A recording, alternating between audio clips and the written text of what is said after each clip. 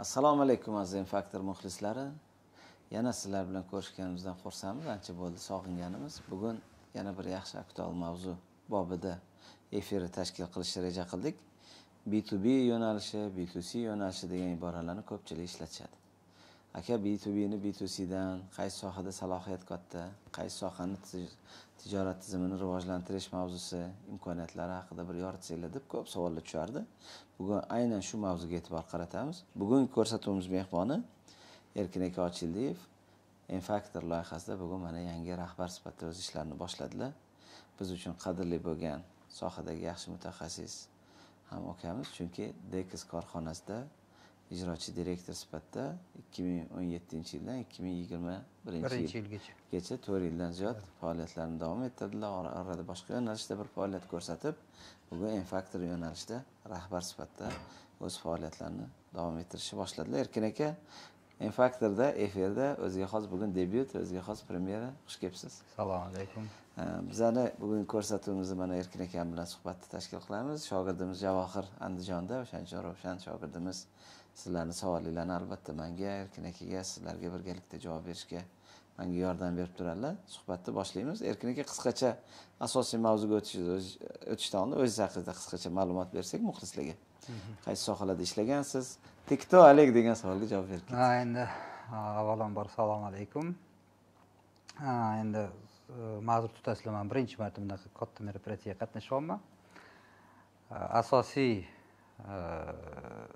kasbim endi управленец degan so'z bor. Shu управленец bo'lib ishlab kelyapman bir yigirma yildan oshiq.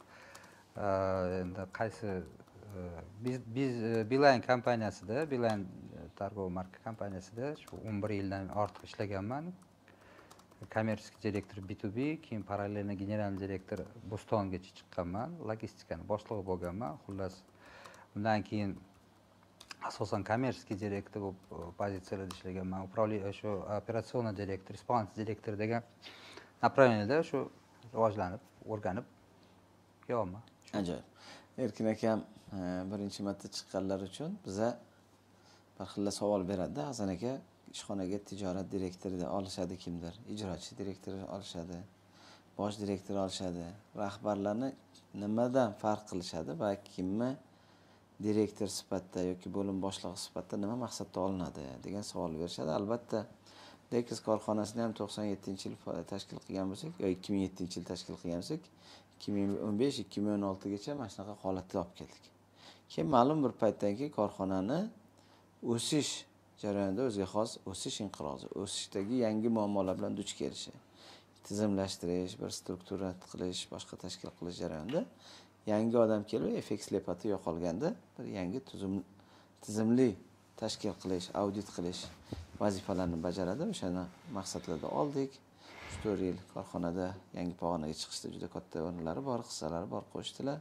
Bugungi kunda xuddi shunaqa infaktor loyihasi erkin akam bilanlar hattoki dekiz donor bo'lib yurgan paytda g'oyali paytda tug'ilib bugun to'rt yil ichida juda katta salohiyatga erishdi. Hattoki hasan aka husan aka ham bugun eh, infaktor loyihasiga yangi ijrochi direktor. Endi olsak bo'ladi degan pog'onada bularni ijrochi direktor sifatida tashkil qildik. Mana erkin aka mavzuni b to b b to c b to g sektorlarida savdoni oshirish ularni bir biridan farqi tizimli boshqaruv shu va shu atrofdagi mavzular haqida suhbat qilamiz. Keling. Eh, muxlislarimizga bu iborani bilganlar bor bilmaganlar bor. Oddiy ashula qilib для чайников deydiyu. B to bni b to cdan b to cni b to gdan farqini bir eslatib o'tsakda keyin biza qaysi fokusga qaysi segmentga e'tibor qaratishimizni suhbatni o'zi davom ettiraveramiz tushunarli. Endi to'g'ri aytyapsiz avvalambor tushunishimiz kerakki o'zini mana shu abreviatura degan narsa nima? B to b biznes для biznesa biznes для customer business to customer business to government degan narsalar bu biznesda customer oddiy fizический shaxsiy shaxsiyat odamlarga oddiy odamlarga mo'ljallangan biznes b to b degani biznes uchun mo'ljallangan business to government degani правительство. Faqat shu mamlakat deydimi mamlakat davlat. Davlat davlat korxonalar uchun mo'ljallangan narsa. Ammo bitta qiziq narsa borki ko'pincha o'zbekistonda man shu bilishim bo'yicha sal tushuncha noto'g'riroq sababi b to b deb tushunishadi. B to b biznes bu bitta kompaniya bitta korxona boshqa korxonaga savdo qilgan deb b to b deb hisoblashadi. Ammo u yerda sal e, o'zini boshqaroq tushunchasi bor. Nimadan iborat? Agarki sizni sotgan molingiz yoki xizmatingiz o'sha sotib olgan kompaniyani e, nimasini savdosini oshirish oshirsa yoki qanaqadir rivojlantirsa o'shanda bu b to b bo'ladi. Hmm. oddiy savdo savdo alohida narsa. Negaki b to bda sizni sotgan uslugangiz ham tovaringiz ularni daromadini oshirib ularni klientini loyalnostini oshirib yoki qanaqadir yengil yengil qanaqadir pog'onaga olib chiqishsa o'shanda b to b bo'ladi. B to c ham shu situatsiyada siz odamga oddiy xodim odamga sotasiz yo qanaqadir molingiz yoki qanaqadir xizmatingizda. Hmm. и bu yerda asosiy farqi birinchidan mana shundan ikkinchidan asosiy farqi nimada deb o'zi nechta bir nechta e, nimalar bor asosiy farqlar bor. Endi eng muhimi deb o'ylayman bu birinchidan целевой auditoriya kim?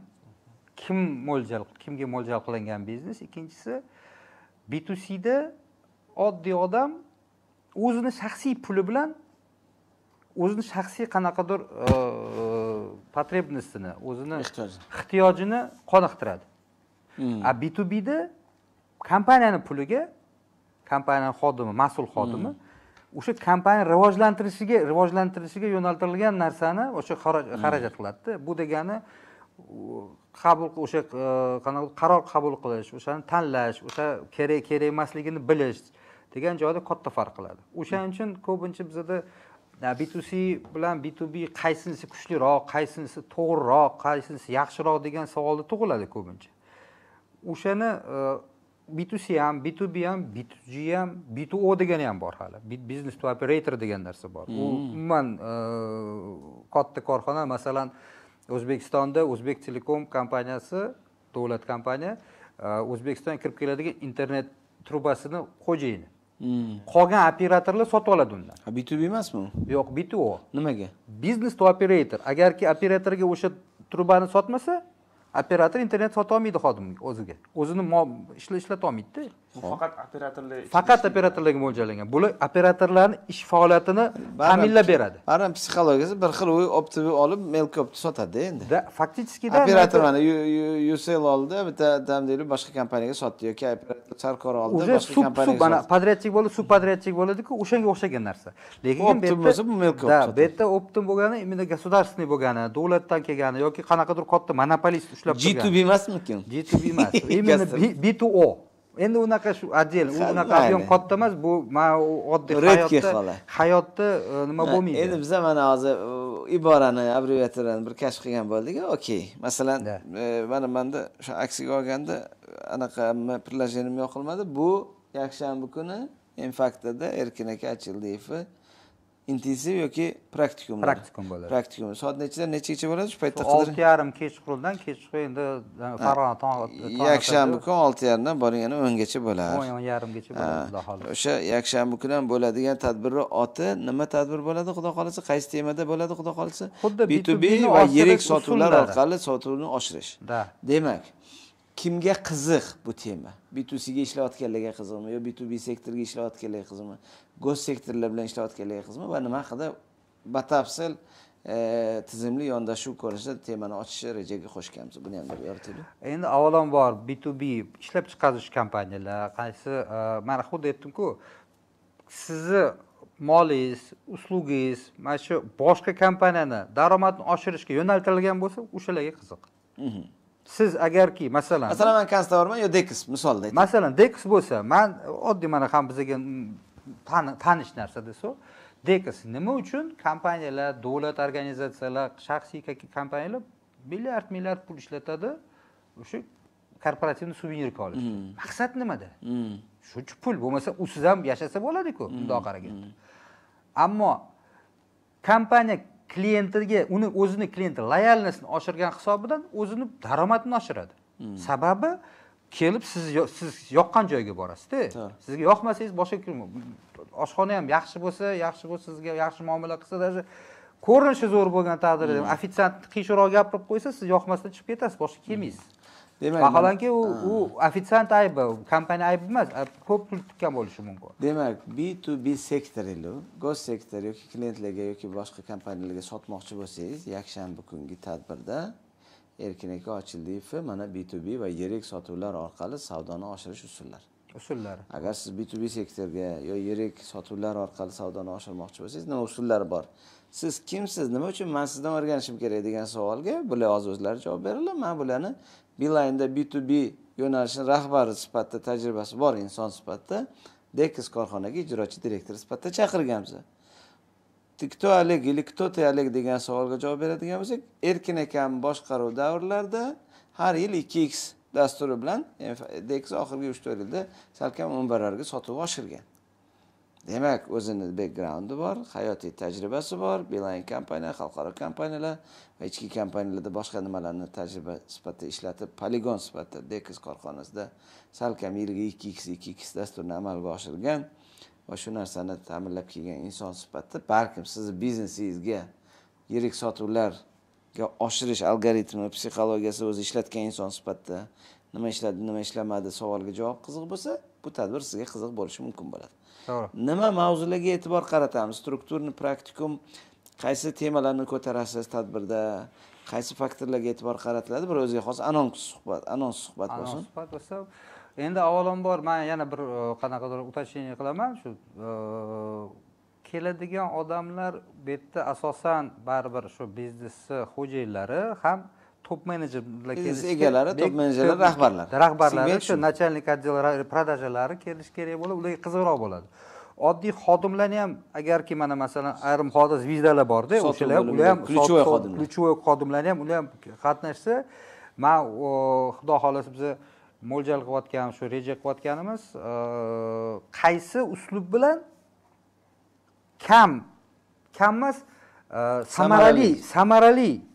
harakat xarajat qilib samarali harakat qilib maksimal holatda qanaqadir rezultat olishda o'sha maqsad. Ho'p siz nima strukturni analitikasini berasizmi instrumentini berasizmi sotuv elementlarinimi psixologiyasimi strategiyasimi avvalambor tushunchasi nima bilan? Mana hozir biza qisqa o'tib ketdida uni har bittasini tagida ko'p ko'p kirish kerak. Nega kirma tizimli yondashuv Да, uni tizimli berasiz. yondashmasa ko'rinishi bir xil ko'rinishi bir xil lekin ma'nosi umuman boshqa bo'ladi bitta so'z har xil o'qisa har xil chiqishi mumkinda xuddi shu situatsiyada. Bu birinchisi. Ikkinchisida qaysi metodlar bilan qaysi uslublar bilan biz masalan o'sha b to bni oshirishimiz.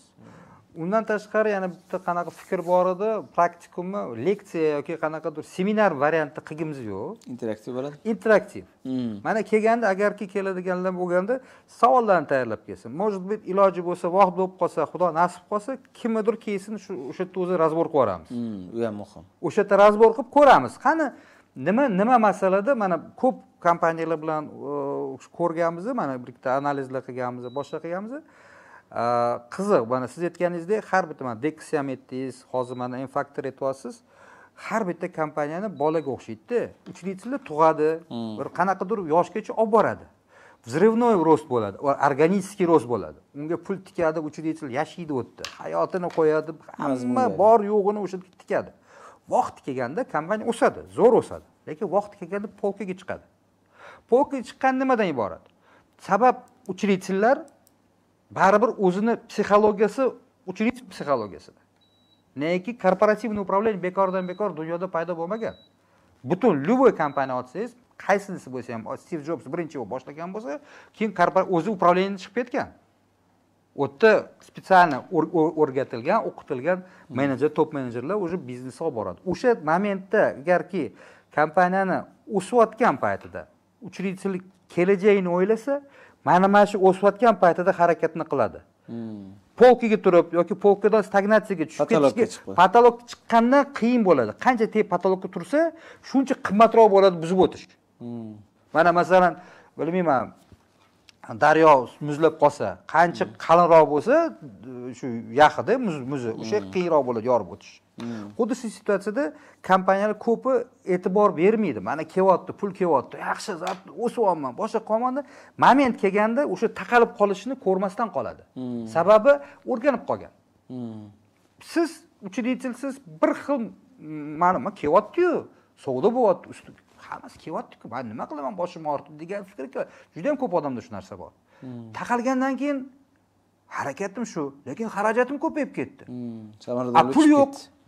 Qani pul shuncha pul tikyapman shuncha vaqt ketyapti yashayapman shu yerdada lekin pul topolmayapman degan savol tug'ilib qoladi. Ko'p mana shu e, biznes egalari bilan gaplashganda mana shu masala tug'ilib keladi. Asosiy muammolar shu muammo shu. biznes egalari. Biznes egalari и mana mana shu dex degan bo'lgan voqea o'zingiz yaxshi bilasiz xabaringiz bor. o'n yil yig'ilgan klient o'sha esingizda bo'lsa bizada qanaqa birinchi mana endi sal tarixdan aytib bersam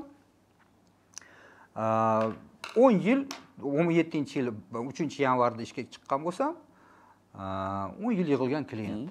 Hmm, hamma klient ikki ming yettinchi yil o'n- yil. Hamma klientlar muhim hamma klientlar родной nega korporativniy kulturasi ichida juda yam kuchli bo'lgan.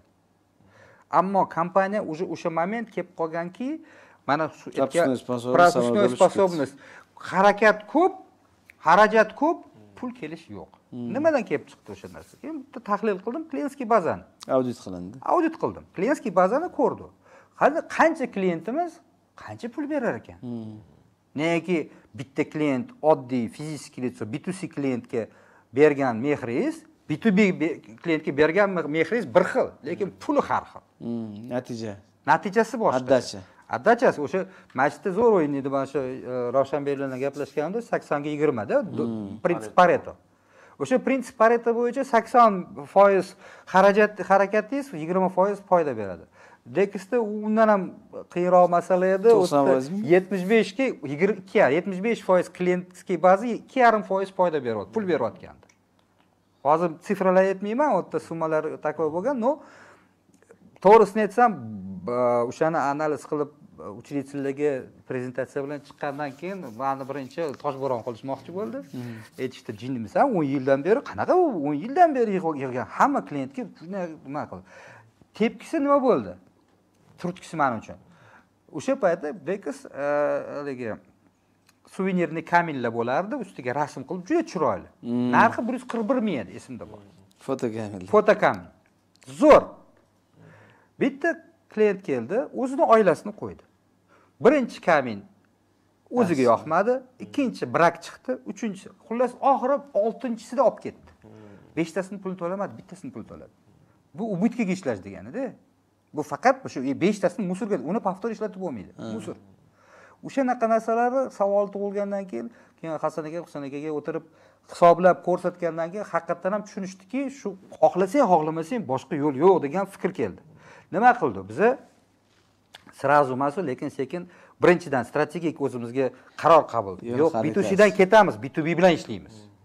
Mana mana shu именно mana shu bizneslarda to'g'ri yo'nalish tanlashda katta xato bo'ladi. Qarorlarimizda qaror. Asosan qarordan biznes egasini asosiy bugungi natijasi kecha qabul qilgan qarorlarni natijasi. To'ppa to'g'ri ertaga ham qayerda bo'lishimiz bugun qaror qabul qilishimizga bog'liq. O'shaning uchun siz bilan biza tadbirlarga kelganda anchadan beri ikkilanib yotgan savollarimizga javob topib bugundan boshlab bo'ldi man bu yoqqa boraman va nimaga boraman? Nimaga bu yoqqa bormaymanga savolga javob topib qaror qabul qilishimiz uchun mana insayt deymiz boshqa deymiz tajriba bularga to'g'ri kelgan narsa manga to'g'ri keladimi yo'qmi? Aka bundoq bo'lsachi bundoq bo'lsachi mana hozir man erkin akam bilan o'tiraman intervyu beryapman tadbirga kelganingizdan keyin ular polka polka qilyaptilarda ular aytib bergan retseptni o'zingizga olyapsizda va aka mana bunaqa bo'lsachi aka mana bunaqa bo'lsachi degan ma'noda spikerga savol berasiz. Kofe breakda sizda qanaqa manda qanaqa degan javoblar bo'ladi.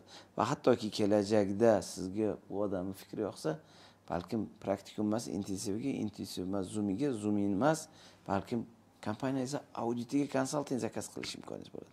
O'shaning uchun odatda insonlar mana birinchi youtube orqali ko'rganda o'xday bu tema menga yoqdi.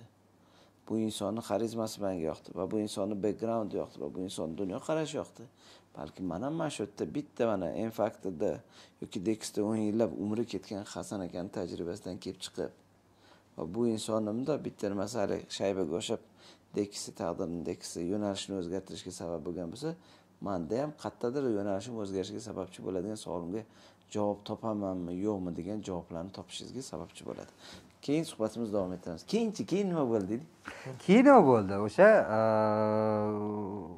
haqiqatdan ham e, endi bundoq qarasa qaranglarda учредительlar учредитель man hasan aka o'zingiz mani tanimasdi. Endi to'g'ri b to b direktor kommersiy kommersiy direktor o'zbekiston bo'yicha wimpelcom katta международный kompaniya judayam nima butun o'zbekistonda sngda yaxshi rolda ishlab yurgan payti bu bir taraf. Lekin личностный qanaqadir tanish bilishlik bo'lmagan. Tanimagamiz o'sha moment kelyaptida qaysidir ko'chadan kelgan odam aytyapti e san u yil yig'gan klienting ikkita kopek tashlab yubor deyaptida qanaqa reaksiya bo'ladi? Aytyapman toshbo'ron bo'lishga oz qolgan. Ammo man shu paytda e, tan olganim besh ketganim haqiqatdan ham учредитель risk qildi risk qilish kerak bu yerda xohlasak вы lekin hisobli risk bo'lishi kerakda o'sha mas'uliyat o'zida mas'uliyat baribir o'zingda va учредитель o'zi hal bo'ladi o'shani man masalan audit qilib bergan taqdirimda ham man yo'nalishni ko'rsatishim mumkin. Yoki yo'nalishga yordam berishim mumkin. Yoki qanaqadir mana kasal doktorga borganda kasalligingizni ko'rsatadiyu keyin alohida list qiladida u narsani. Hmm. xuddi shu situatsiyada учредительni o'ylab o'ylab ikki kun uch kun vaqt o'tdi orada. Hmm. da o'ylaganda bo'ldi давай пробовать qilamiz deyishdi. Riskka borishdi. И o'sha riskka biza besh barobar o'sha ishlagan b to cdan oladigan pulni bir yilda oladigan pulni masalan o'n oltinchi yil olgan pulni o'n yettinchi yil besh barobar ko'p oldi. Manga qiziq bo'lyapti hasan akamni qanaqa qilib rozi qildingiz rozi qildiyu endi mana qarang endi prezentatsiya qilindi sen meni ishontir muhabbatingga degan lekin nimadan qanaqasiga? Birinchidan любой учредитель любой kim bo'lgan qat'iy biznes boshlagan odam pul sanashni biladi. Mana anaqa yoniga shundoq raqamlarni qo'ygandan keyin vau deydida o'zi ko'rmagan tushunmagan tushungan bo'lishi mumkin lekin ko'rmagan anglamagan narsalar bor. Понимаешь neki учредитель pozitsiyasi владелец pozitsiyasi global holatda ko'radigan narsa. Ayrim holatlarda bir e, detallari qanaqadir bir qism qism narsani ko'rmasdan qoladi. Bu birinchi. Ikkinchidan zamыленный взгляды degan narsa bor. Man effekt слепоты effekt слепоты man chetdan kelib ko'raman. Mana ham hozir masalan bitta proyektlar bor. Qatnashib audit qilayotganimizda mana buni bundoq qilsang bunaqa bo'ladi desam и так можно что ли deydida. Ko'p shunaqa bo'ladi. Bo'lmasam aqli yetadi shu narsaga ayrim holatlarda bilim yetmaydi ayrim holatlarda xohish yetmaydi ayrim holatlarda tushuncha yetmaydi. Tajriba yetmaydi. Tajriba yetmaydi. O'shaning uchun masalan n faktorni mana endi bundoq qarasa ochiq oydinda butun o'zbekiston bo'yicha nechta har xil e, biznes trening sentrlar bor qancha обучающий nimalar boru nimaga faktor to'rt yilda mana shunaqa уровеньga chiqib ketdi bu tug'ilganda haqiqatdan ham o'sha kabinetda o'tirgan hasan aka husan aka o'tirib birinchi nomi x faktor deb paydo bo'ldi keyin u bo'ldi keyin n faktor bo'ldi lekin muvaffaqiyat va e, mag'lubiyat. omillari deb nomi o'zi nomi o'ziga keldi brending bo'lib neminglar да neminglar zo'r bo'ldi. Nima uchun? Sabab og'rib og'riyotgan joyiga dori berishdida o'sha payt hozir ham shu situatsiya o'zbek tilidagi kontent kam edi. Hozir yaxshi ancha ancha rivojlandida. Mana shu shu ahvol kelib esimda bor. Bir podvalda necha yigirma kvadratmi ellik kvadratga ham bormasdida xona. dekisdan olib tushardik ha dekisda har hafta har hafta har juma tashirdi bolalar stulni tashirib joy yo'q stuli ham yo'q edi. Stuli ham yo'q edida lekin o'sha moment o'sha narsani значит vaqtida дорогая ложка к обеду vaqtida kerakli odamga mana shu b to bni asosiy e, nima deydi yutug'i nimada bo'ladi? Kerakli mijozga kerakli xizmat yoki tovar berish. O'ziga kerakli man bir nima qilamanda mana siz dekisi misolda va bu insonni misolda bu insonni instrumenti misolda mani holatimga qanaqa to'g'ri keladi degan ma'noda ko'rsatuvdan suhbat sifatida insayt olishingiz kerak. Yaxshiroq tushundim yo tushunmadim desangiz birinchi zarbada tizzalargacha ikkinchisida bellargacha uchinchisida yelkalargacha ikkinchisida o'sha praktikumga borishingiz kerak. Bu odam formula qilib tizimli qiladi. Va o'zingizni biznesingizga xuddi man futbolka manga to'g'ri keladimi to'g'ri kelmaydimi kattami kichkinami? Manga to'g'ri keladigan narsani ichidan tanlab toma toma yig'iladi chunki biznesdagi bitta xato tuda bitta xato suda ellik ming dollar tuda ellik ming dollar suda yoki yuz ming dollar tuda yuz ming dollar suda haqida turibdi. Yo biznes uchish to'xtadi cho'kmaslik haqida turibdi. Cho'kmaslik uchun bitta noto'g'ri ko'chaga kirib ketish evaziga vaqtim umrim harakatim xarajatim ketmasligi uchun qaror qabul qilish uchun joyida turish uchun yugurish kerak. Shunaqa tadbirlarga kelinadi. Mana erkin akammi? Man biznes egasi. Rahbar sifatida ko'pimiz yaxshi top menejer rahbar sifatida qidirganda qaraganda nima savollarga javob qidirardi erkin aka mana biznes. B2B'dan ham ishladim, B2C'dan ham ishladim, B2G'dan ham ishladim. Siz bilan bizani pochirkimiz bir xil, dunyoqarashimiz bir xil, kalibrimiz bir xil, lekin men o'sha qilgan qiladigan ishimni qildim, estafetani kelgan joydan olib keting. To'g'ri, qiladiganingizni qiling, ko'zga ko'rinmagan xatolar bo'lsa, men keyin o'zim kerakli joyda rahbar sifatida nima qilib turaman, lekin man rolda charchadim siz rolni oling deb man yoningizda nima qilaman? Chaproq o'ngroq ketib qolsangiz aytib turaman degan ma'noda uchredитель va наемный top menejer sifatida dekisa a nuqtadan b nuqtaga chiqishiga uch to'rt yil oka bo'ldik. Bularga man zadachani yoki bular bilan o'tirganda suhbat jarayonida aytdiki mana bori shu chekap qildik audit qildik manzilga qayerga borishni o'zingiz aniqlang. Nimaga b to cga fokus qaratmaymiz? Nega b to gga fokus qaratmaymiz? B to bga urg'u beramiz. Keling mana shu keysni bugungi kunda ham uchta yo'nalishimiz bor edi kanstikka o'xshab b to c segmentni rivojlantirmadik. Kanslerga o'xshab b to g ga bormadi yoki deyliga o'xshab dilerskiy segmentga bormadikda b to g va b to b prioritetniy yo'nalish bo'ldi. B to g degani gossektor va b to b boshqa sektor. Chunki bizada hozirgi kunda ham davlat sektori bilan ham объемimiz katta salohiyati bor. Va b to b sektorda ham man bilmayman balkim ketayotgan paytingizda yetmish foiz b to b o'ttiz foiz b to g sektoridagi savdomidi siz boshlaganingizda qanaqa va qaysi narsani parallelni kimga mehr berdik? Hali mehrni bunga bersam yuz so'm qaytarkan bunga bersam ming so'm bunga bersam besh ming so'm qaytarkan degan narsani qarori qandoq qabul qilindi va qandoq unga darshi mehr berib qandoq ularni chopdik? Istoriyasini aytib bering. Chunki biznes egalari uqdi manga mana shu dekisi fenomenini aytib berganda man ham mana shunaqa algoritm bilan qaror qabul qilishim kerak degan narsa istoriya. Bir ochib bersak. Yaxshi. B to cdan endi tushuntirdim. B to cdan ketgan sababi haqiqatdan ham katta harakat neki dekisni nima deydi? Suvenir sotib olmasangiz ochingizda o'lmaysiz. Bundoq hmm. qaraganda первостатейный oldida oldida turgan masalan non sotib olmasangiz yoki mana ovqat oziq ovqat narsalarni ishlab chiqarishda yoki boshqa joyda u shunaqa bizneski usiz masalan odam hayot ko'ra olmaydi suvenirka sal boshqacha narsa. U biznes masalan krizis bo'lib qolishi mumkin boshqa bo'lishi mumkin. Endi nima qilaman sotib olib pul tikib deydigan savollar tug'iladi. Bu degan bu orqasidan nima tortadi? Birinchidan kelayotgan mijozlaringizni ongini to'g'irlash hmm. tushunchasini to'g'irlash. Nima uchun sanga kerak? Hmm. nima topasan?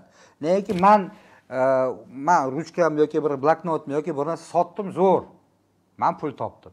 Manga nima kerak degan savol tug'iladi asa o'sha ruchkang bilan ertaga. Masalan oddiy misol. Baxtiyor ham aytib bergan bank ipak yo'li bank. Hmm. keldida bir gal besh mingta ruchka oldi. Hmm. yashil ruchka o'zini o'zini rangidagi zo'r ruchka hmm. oldi ipak yo'li bank deb oldi. Har doim banklar ipligini olardi. Bog'lab qo'yadi.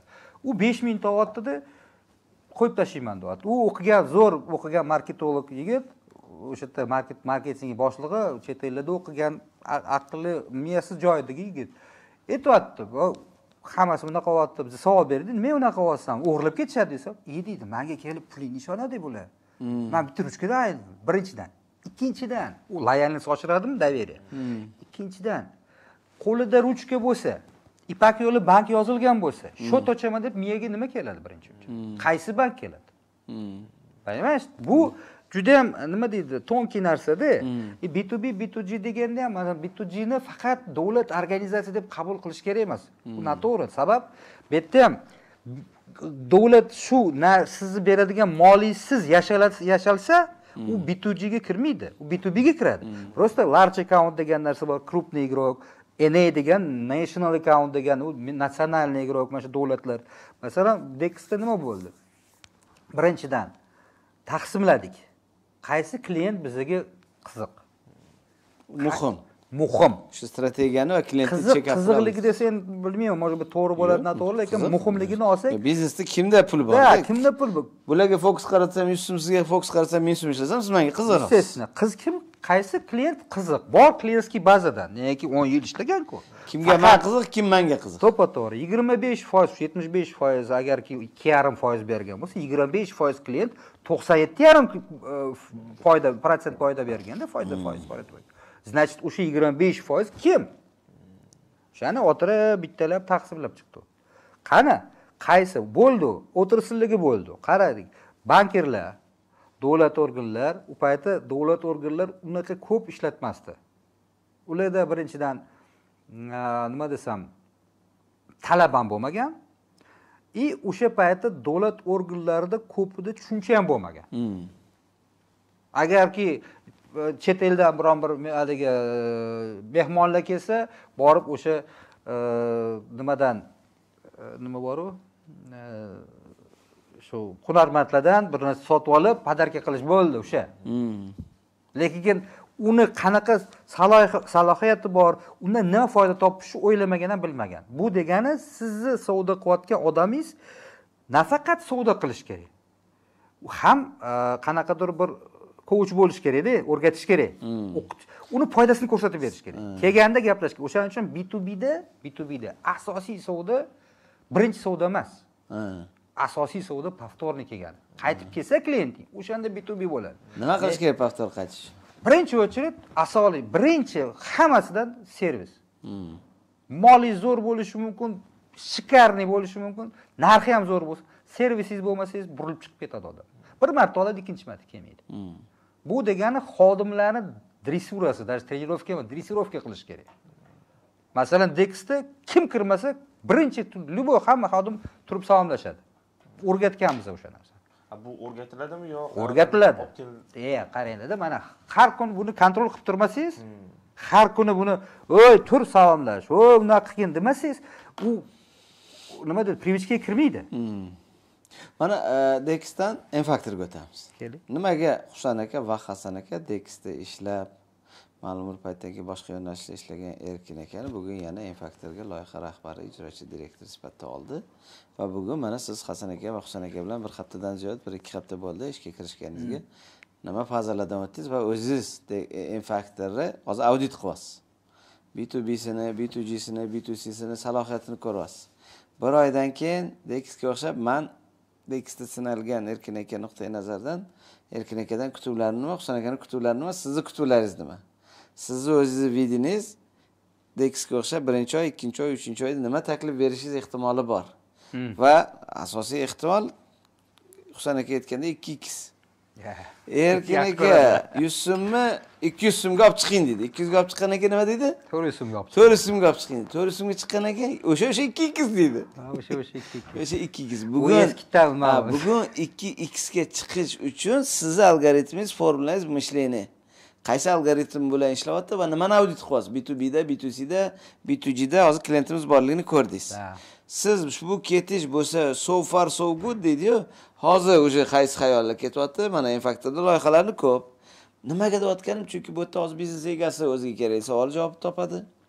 Biznes rahbarlari top menejer direktorlari biznes учредители va biznesni rahbarini suhbatini guvohi bo'ladi. Uxti хочу такое только с первым утром пугаются mana hasan aka учредитель erkin aka biznes rahbari va ключевой xodimlaridan biri yoki там yo'nalishidagi yo'nalishdagi bitta menejerlardan biri suhbatini guvoh bo'ldim. Mana mana shunga o'xshagan javob qidirishinglarni xohlayman. Manga farqi yo'q erkin aka butun mana shu qilgan ishimizni deksga o'xshab butun toat ibodatimizni bitta abudit qiling. Ti tudan nihadi ti sudahadi. Aytganingizni qilaman bolalarga manga husan aka keltirib bering. Uch oydan keyin ikki oydan keyin erkin aka deksga kelgandan keyin mana bu qarorni qabul qildik. Скорее всего qanaqa taklif berishingiz mumkin? Или nima bo'lsa nima taklif berishingiz mumkin bo'ladi. Xohlang shunaqa aytib bering xohlang chizib aytib bering. Bugungi auditlargacha aytib bering. Chunki biz aytamiz tijoriy yo'nalishi monetizatsiya salohiyatini ochish bo'yicha audit qilasiz taklif berasiz решение berasiz strategiya berasiz. Biza b to bdan ketinglarmi bizada b to b segment ham bor b to c segment ham bor b to g segment ham bor mana n misolda b to b b to g b to c segmentlari kim? Bugungi kunda n yuz so'm savdosini nechi foizini b to c beryapti man bilmayman. Nechi foizini b to b beryapti man bilmayman. Nechi foizini b to c beryapti bilmayman. Предварительный analizlaringizga nisbatan yuz so'm savdani ikki yuz so'mga chiqish uchun bugungi yuz so'mni proporsiyasi qancha va kimga дальше biza fokus qaratinglar. Shularni bir ochib bering shunda odamlarga ух ты zo'r честно или правильно E, gitara мясlo Мяслоmi? частности ham ayting e, правильностini ham Bo'lmasa- ayting. shunda odamlar maza qiladida bu samimiy живой master klass reality bo'ladi. живой bo'lsa juda ham zo'r. Manga ham yoqadigan format neki man ko'p man trenerlar trenerlar qiziqqanman qaraganman o'zim nima qilganman ko'p e, trenerlari e, xatosi bor nimadan iborat? Leksiya qiladi o'tirib olib man zo'rman kitob o'qiganman man aqlliman man nima qilganman deb la la la la gapiradi motivatsionniy bo'ladimi boshqa bo'ladimi? Kimnidir xarizma hisobidan kimnidir haqiqatdan ham til boyligidan olib ketadi shu narsani. Bor shunaqa. Dunyo bo'yicha qanaqa trenerlar bor? O'sha e, brayn treyslimi nima deysiz? Yaxshi ko'rgan nimangiz u ham hisobidan в принципе lekin hammasiga bitta savol. A nimaga san o'zing biznes qilmagansan nimaga qilmagansan? degan savol tug'iladi. Ko'pida kimdadir bor kimdadir o'zi olib boradi lekin вот u уже boshqa stadiyaga chiqqan trenerlarda kim o'zi o'zi boshlab boshlab o'zidan o'tib nima qilagan hozir agarki m faktor olsa xuddi shu situatsiya keldi dexga o'sha faqat dexda o'n yil kerak bo'ldi a m faktorda to'rt yil kerak bo'ldi. Hozir shu nima deydi balog'atga yetdi bola hozirgi situatsiya mana hozir ko'rganim. Bu hali chuqur kirilmadi hali nima qilmadi? Asosiy vazifa asosiy vazifa bu biznesni sistematla nima deydi? Jarayonni tizimlar tizimlashtirish. Negaki hozirgi e, ko'p kelayotgan ochilgan yangi направлениялар proyektlar o'n oltita uslugi bor. Hammasini audit qildingiz hammasini nimaga beshta emas yigirma beshta emas o'n oltita degan savolni beryapsiz ko'rib aytaman aytyapman lekin o'n oltitadan ham real holatdagi kompaniyaga выгодныйsi o'n to'rt u sakkiztami to'rttami shunaqa. Hozir aniq qizil yashil zелёный да o'shani olsa agarki mana xuddi yana paydo bo'lyapti abc qilsak masalanda taxmin taxmin yana xuddi shu показатель bo'ldi. Yigirma там даже o'n olti bo'ldi по моему o'n olti pamyatim nima qilsa o'n olti foiz где то bir oltmishmi oltmish besh foiz foyda beryapti. Oddiy haligida даже yetmishga yaqin. Usluga ham usluga ham o'n olti foiz berilgan o'sha a kategoriyaga o'tayotgan. B kategoriyada taxmin где то ну hozir aniq sifrani aytmayman o'n foiz deb короче xullas uch foiz c kategoriyadagi narsa uch foiz emas ellik foiz savdamiz uch foiz foyda beryapti.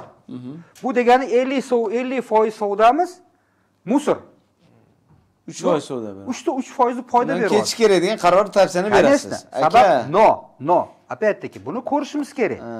Yoki buni ham chuqurroq qarashimiz kerak. Bu nimaga unaqa bo'lyapti. Bu b hisobidan bo'lyapti. Atigi uchta to'rtta o'tgan lekin yerda cheki katta cheki katta bo'lgan uni salohiyati ham katta negaki u yerda lead generatsiya muhim atrofda kimga berilayotgan? Mana o'shaning uchun b to b bilan b to cni katta farqi nimada iborat? Kim целевой auditoriya? Kimga ketyapti? Agarki shaxsan o'zimga olayotgan bo'lsa man o'zim pulim bilan голосовать qilamanda o'zim pulim bilan o'zim shaxsiy qanaqadir talablari qoniqtiraman. B to bda b to g bo'ladi. B to gda endi ko'pincha siyosiy keyin ijtimoiy qanaqadir maqsadlar bor. A b to bda konkretniy pul. Qancha man pul topamanki mana bulardan masalan g'isht bozordan sotib olib uy qurib sotganim. U nima? B to c b to b. Masalanda b to cshnik sotib olyapti. Man oddiy oddiy quruvchimanda firma emas oddiy quruvchiman. Подключ olyapman masalan man bitta qanaqadir bino qurib beraman uy qurib beraman debdi. Man bozordan sotib olyapmanda b to c bo'lib shaxsan o'zim olyapman o'zim pulimga tikyapman keyin uy qurib uy qilib b to b sotyapman bu degani bir biriga bog'liq o'shaning uchun masalan hozir savol yigitlarga ham aytdim b to b afzalroq b to c zo'rroq unisi zo'rroq deb bo'lmaydi har bittasi o'zini segment o'zini maqsadi bor o'zini mijozi bor o'zini puli bor kimga fokus berishingizga bog'liq? Strategiya to'ppa to'g'ri u nimadan bog'liq? U sizni birinchidan nima beri qanaqa usluga berishingizdan bog'liq qanaqa tovarishingizdan bog'liq qanaqa fokusda ishlashingiz bog'liq. Masalan b to bda ham har xil variantlar bor. Million variantlar bor. Lekin b to bda asosiy savdo qiladigan odam menejer b to cda polka. То есть kontakt с клиентом b to cda нету фактически bo'ladi. Kamda nisbatan. U asosiy kontakt emas. Uni ham o'ziga yarasha masalan judayam muhim muhim narsalari bor uni ichiga kirsa ko'p ko'p pog'onali nimalar bor. Lekin b to bda asosiy savdo qiladigan odam по любому kontakt bo'lmasa siz aytasiz нет контракта нет контакта b to bda aytyapman birinchi servis bo'lsa servis odam mana shu praktikumda ham ko'rsatamiz. Qaysi metodlar bilan qaysi uslublar bilan gaplashish kerak? Nimaga b to bda manga mandan nima mal olish kerak? Savolga javob berish kerak. O'z o'ziga savdo qilayotgan odam. Hmm. mana hasan aka nimaga mani mani mani bilimimni sotyapti ochig'i sotyapti va tekinga ishlamayman. Ну естественно нормально. Man neki o'sha hozir bilimimni yigirma besh yil yig'ganman o'ttiz yil yig'ganmanda bu narsani bu background uni sotib olib bo'lmaydi bu hayotiy tajribani faqat probeg bilan keladi probeg bilan olasizda boshqa yo'li yo'q uni sotib olib miyangizga solib qo'ya olmaysiz man hasan aka ishni bilmaydigan odam biladi lekin mani shaxsan o'zimni bilimim данный situatsiya chumchuq so'ysam Qadrli, qassob so'ysin degan fikrdan bo'lyaptida u hamma narsada shunaqa o'shaning uchun b to bda b to bda asosiy urg'u asosiy urg'u. Birinchidan servis agar gapirsa servisda bo'ladi. Molda bo'ladi. Qanaqa molni ketish o'sha molni ham masalan dex bo'yicha ham nimani esimda bor biz qanaqasiga taqsimladik? Nima birinchi taqsimladik klientlarni molni audit qildik segmentni audit qildik. molni audit qildik. Ko'p strategiyani audit qildik. ko'p o'sha paytda e, yig'ilib qolgan situatsiyaki mol sotib olingan o'sha o'n yettinchi yilgi sotib olingan likvidga kirib ketgan. endi hozir aytsam bo'ladi bir yarim milliard bir yarim milliard so'mlik остатка bo'lsa o'shanda besh yuz million likvid edi. Bir milliard ne likvid? Ni- farqi yo'q nimaga sotib olingan? Уже bu e, не farqi pul tikilgan уже. Bu pul yotibdi chirib uni sotib olib uni sotolmaysan uni musorga tashlab yuborsa ham yonib ketadi жалкоda shuncha pul ketganku unga. Lekin o'sha paytda strategiya bo'lmagani uchun o'ylanmagan primo olingan emotsionalniy savdo bo'lgan neki b to bga mo'ljal bo'lmagan b to cga mo'ljal bo'lgan. O'sha moment kerak bo'lgan. Man bitta bilmaganmiz. B to cda выстрел beradimi b to b да просто probaga neki bular baribir nima desa innovatsiya qiladigan odamlarda hasan aka. Har doim yangilik o'ylab qilaverasiz. m faktor ham nimadan paydo bo'ldida g'oyalarni test qilaverishdi probadan paydo bo'ldi. Nimagadir so'rasam kirsam topolmadim mana treninglar qiziqaman qarasam ruscha bor inglizcha bor o'zbekcha yo'q degan savoldan paydo bo'lgan. A что если degandan keyin mana hozir m faktor to'rt yilda bo'lib turibdida o'ziga yarasha. Bozorni egallab o'ziga yarasha maqomiga yet- yet- yetib уже ancha nima bo'lib turibdida xuddi shu situatsiya innovatsiya degan joyda risk joyi bor pul tikishda mani vazifam bu yerda уже innovatsionniy perioddan o'tib bo'lganmiz. Hozir ham mana hasan aka bilan husan aka bilan kelishganimiz nima bo'ldi? Aprel bizada startap period tugadi deb hisoblayapmiz. Hmm, tarixiy поворот tarixiy поворот agarki dexda o'n yil bo'lgan bo'lsa startap hisobi. Потому что orada ko'p e, qanaqadir morальный materialniy vklad bo'lgan. Korporativniy kultura bo'yicha masalan juda ham kuchli. Haqiqatdan ham juda ham kuchli. Lekin situatsiya bo'ldiki odamlar kimdir o'shani qadriga yetdi kimdir tuflab ketdi? Har xil odamlar bor. Kimdir o'shani чувствовать qilib masalan sodiq bo'ldi. Kimdir vaqtida o'zingiz bilasiz. Gapirib o'tirmayman e bexajal ha endida o'sha hozir yo o'tib biznesda har xil holatlar. Har xil holat o'sha yerda emotsionalniy подъем bor spat bor. Hozirgi situatsiya xuddi shu. M faktor bizada man tushuncham bo'yicha ko'rishimiz bo'yicha уже startap periodi o'tib bo'ldi. Значит bu yerda hozir biza sistema управления надо менять tizim joriy qilish kerak o'sha boshqa tizim neki hozirgi mana har bir odamlar borda nechta odam elliktadan oshiq odam ishlaydi. kadrlarni audit qilyapmiz Da, mana kadrlarni audit qilyapmiz, qilyapmiz. audit qilyapmiz klientlarni audit qilyapmiz yo'nalishlarni hammasini audit qilyapmiz audit chunki bugun siz bilan biza sizni sotib olgan vaqtimizga ketgan e, rezultatimiz kutuvimiz to'g'ri qaror qabul qilish to'ppa to'g'ri.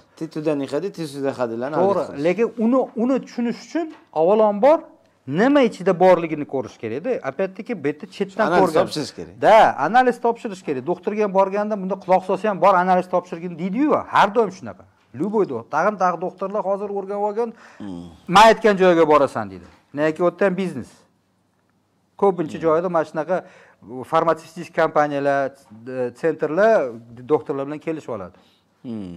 yoki haqiqatdan ham sentr zo'r bo'lishi mumkin. Man uni nima inkor qilmayman lekin faktiski fa- ko'pincha man ko'rganmanki mana palonchi joydan analiz topshirsak unisi to'g'riroq. Man bilmayman to'g'rimi noto'g'rimi lekin bu rekomendatsiya. Chunki u ham b to b savdo qilyaptida o'sha odam. Birinchidan o'zini usluga sotyapti ikkinchidan встречный услугani sotyapti. Cross cross cross sell upsell yaxshi ko'rgan gapimizda.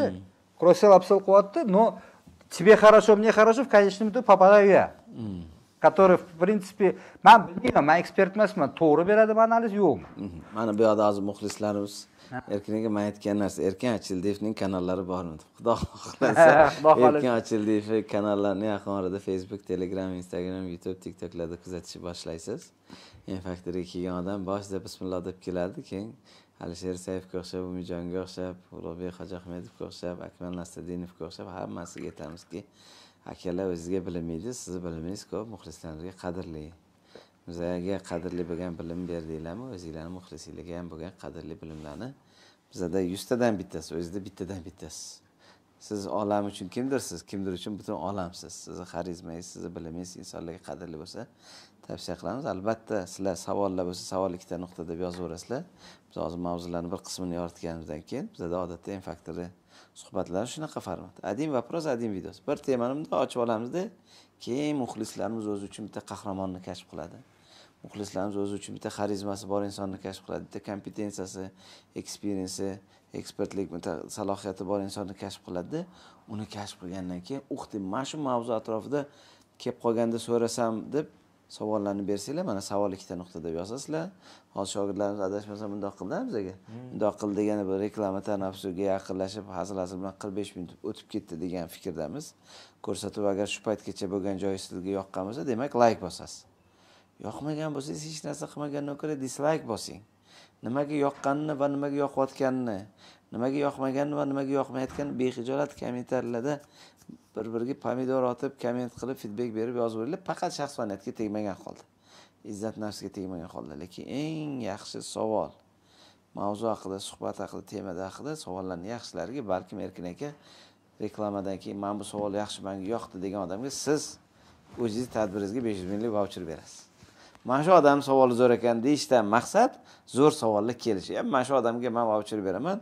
Erkin aka ochildiyev yakshanba kun bo'ladigan bular ham b to b rahbar bo'lgan ham ijrochi direktor bo'lgan kelajakda ijrochi direktor bo'lmoqchi bo'lganlar ijrochi direktor bo'lganlarga va shu sohaga savol javob qidirmoqchi bo'lgan insonlarga balkim shu yakshanba kungi tadbirda kompliment sifatida bir erkin akam o'zlari shaxsan manga mana bu savol yoqdi desalar o'sha insonni shu tadbirga taklif qilishimga imkon bo'ladi. Bo'lmasa suhbatimizni qisqacha reklama tanamizdan keyin davom ettiramiz. Siz bo'lsa eng yaxshi savollarni bemalol eng yaxshi savollarni yuborasiz. Mavzuga oid savollarni reklama tanamizdan keyin beramiz xudo xohlasa.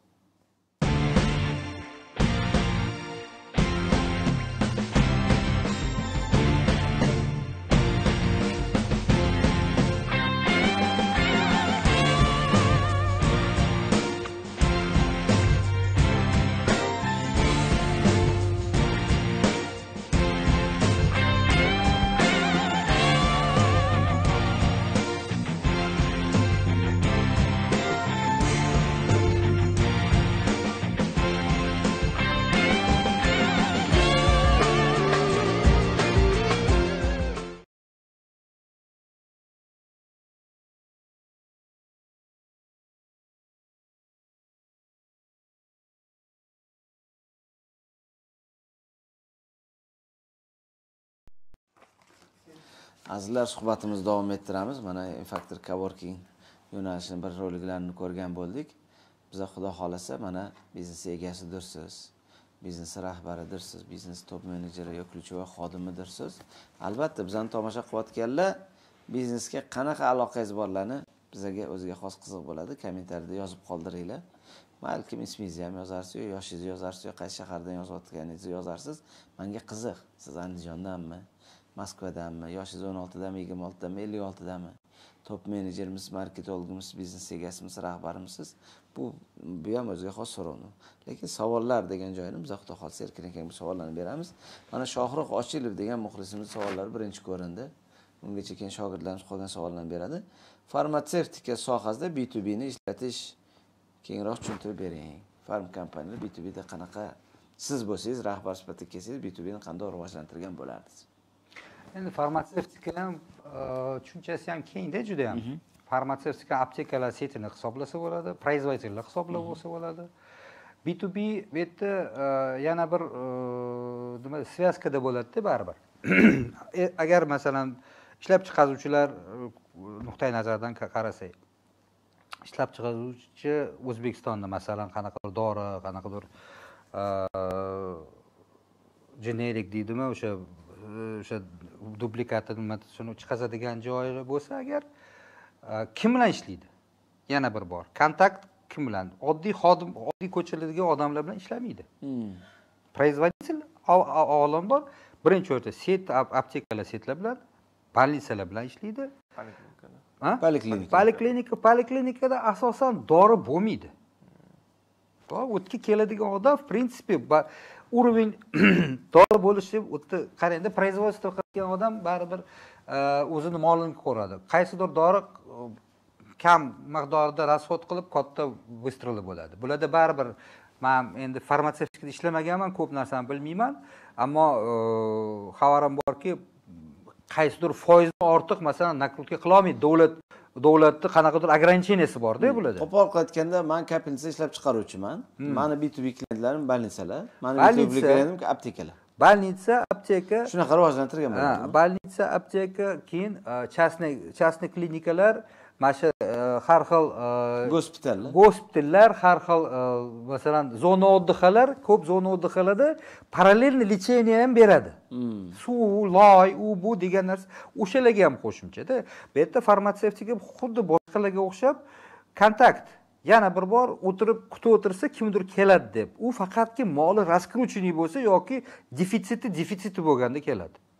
Odam o'zi klient keladi. qolganga qolganga холодный звонок degan narsa bor kontakt встреча bor boshqasi bor ko'p o'ziga yarasha yo'nalishlar bor. Har bitta biznes o'zini e, nyuansi bo'ladi baribir. Uni hammaga bitta nima deb bo'lmaydida bitta qanaqadir retsept etib bo'lmaydi. Shundayki, farmatsevtika sohasida B2B yo'nalishda ishlash bu e, ishlab chiqaruvchi bilan больница o'rtasidagi B2B bo'ladi shunda. shunaqa да потому что больница yana больница nima qiladi? Uning orqasidan yo yo pul topadi yoki o'zi- o'zini faoliyatini qanaqadir nima qiladi? O'zi B2C da ishlab bo'lmasa kerak yo ishlasa bo'ladimi farmatsevtika sohasida? O'zi B2B. A B2C apteka odamga sotgan u ham B2C ku? U B2C то есть siz aptekada aptekada qanaqa ishlaydi? Apteka masalan set apteka bo'lsin o'sha поставщикlardan sotib oladi yoki qanaqadir э, bilmayman nimalar bo'ladi kompaniyalar bo'ladi поставщикdan sotib посредникlik qiladida o'rta o'rtada turishadigan turadigan kompaniyalar bo'ladi. Но asosan siz sotib olyapsizmi o'sha dorini magazin e, aptekadan sotib olyapsizmi siz B2C B2Bdan B2Cga o'tish bu. Aytgandimku bir biri bilan baribir bog'liq. Faqat целевой auditoriyasi kim? Kim sizni mijozingiz degan narsani tushunsangiz o'shanda siz tushunasiz. Siz biznesingiz b to bmi b to cmi? Buni ham tushunishi sal o'ziga yarasha nimalari borda? O'ziga yarasha e, muammolari bor. Uni hal qilish tushunish birinchi o'chim Erkin aka savol kelgan ekan. Bizning mijozlarimiz yaxshi tushunishmayotgan ekanda.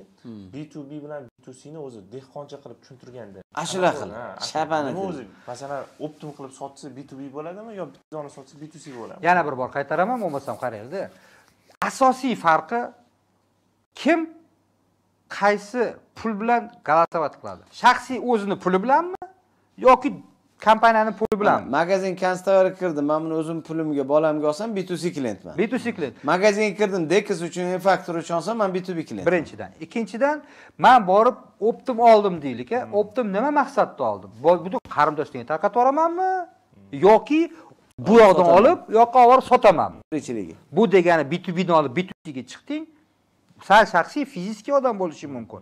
Lekin sani maqsading nimadan iborat? Maqsad foyda topish bo'lsa san b to kirasan. Agar foyda topmasa o'zingni qanaqadir manfaatingni qanaqadir talabingni qoniqtirish bo'lsa bu b c bo'ladi. Oddiy misolda. O'shaning uchun b to c b b deb o'rganib qo'y yana boshida aytdimku bizada ko'p odamlar именно mana shu b to c b b deb tushunchaga ega emas. O'shaning uchun mana shu yakshanba kun chuqurroq shu narsalarni tushuntirib berib qanaqadir keyslar asosida ko'ramiz. Ajoyib mana ketma ket xudo xohlasa savollarimiz boshlanyapti. Azizlar savollar bo'lsa albatta savol ikkita nuqta deb yuboraverasiz bu yoqda shohjahon shogirdimiz savollarni qo'yib turishadi. Eslatib o'tamiz eng yaxshi savol egasiga erkin akami tadbirlariga besh yuz ming so'mlik vaucher beramiz.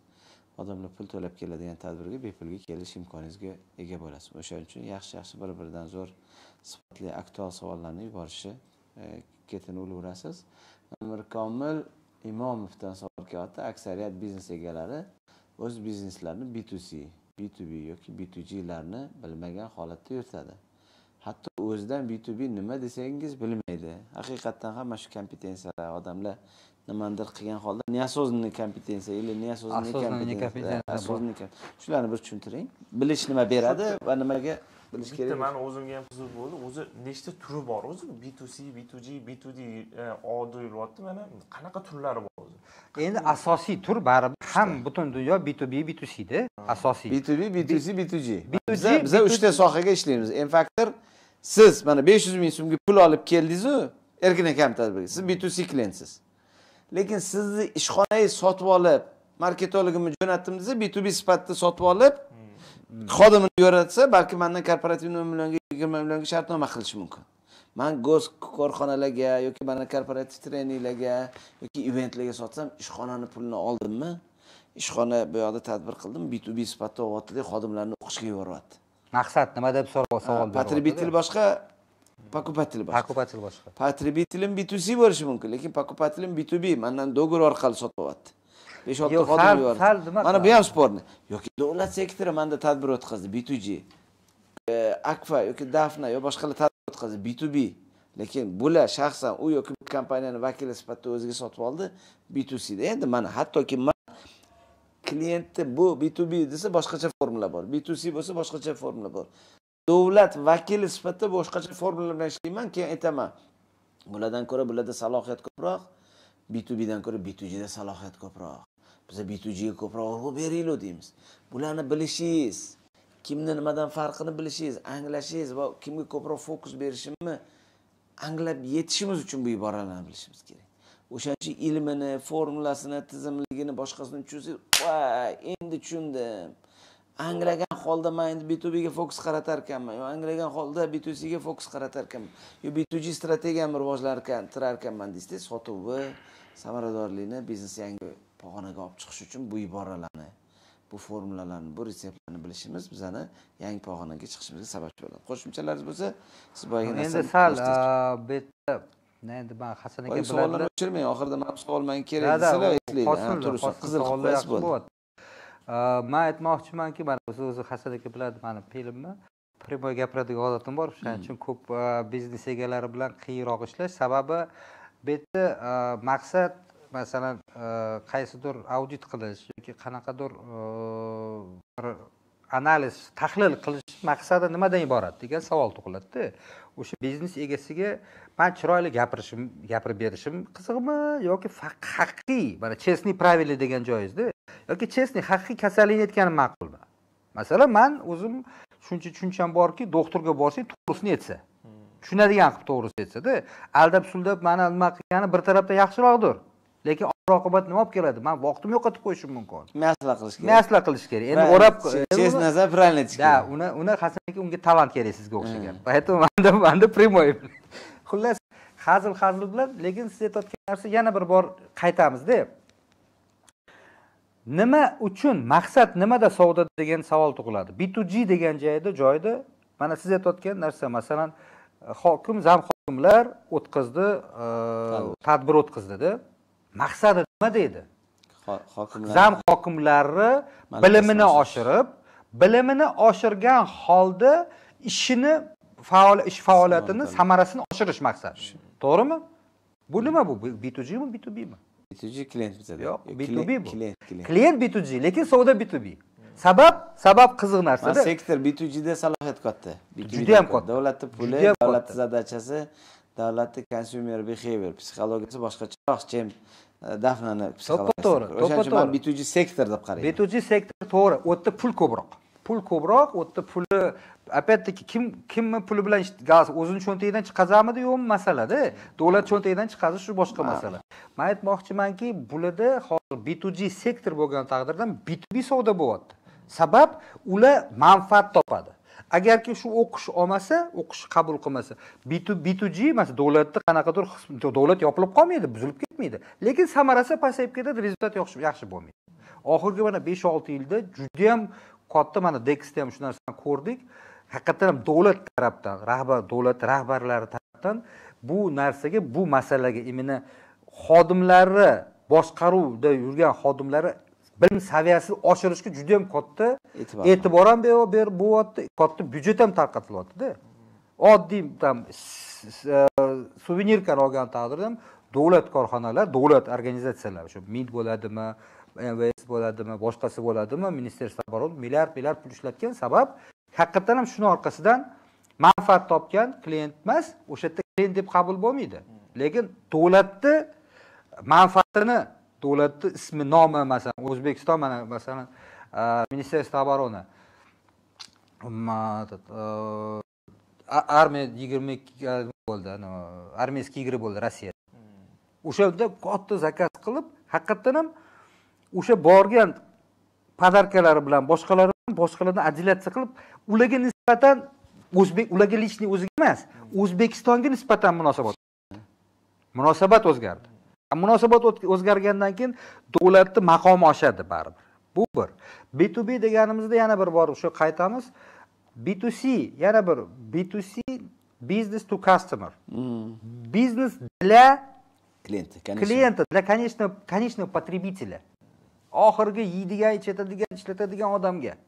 Biznes biznes для biznesa biznes rivojlanishiga biz biznes o'sishiga mo'ljallangan sektorlar deganingiz to'g'ri. U b to c sektor o'sha b to c sektor ham masalan b to bni savdosi qilishi mumkin.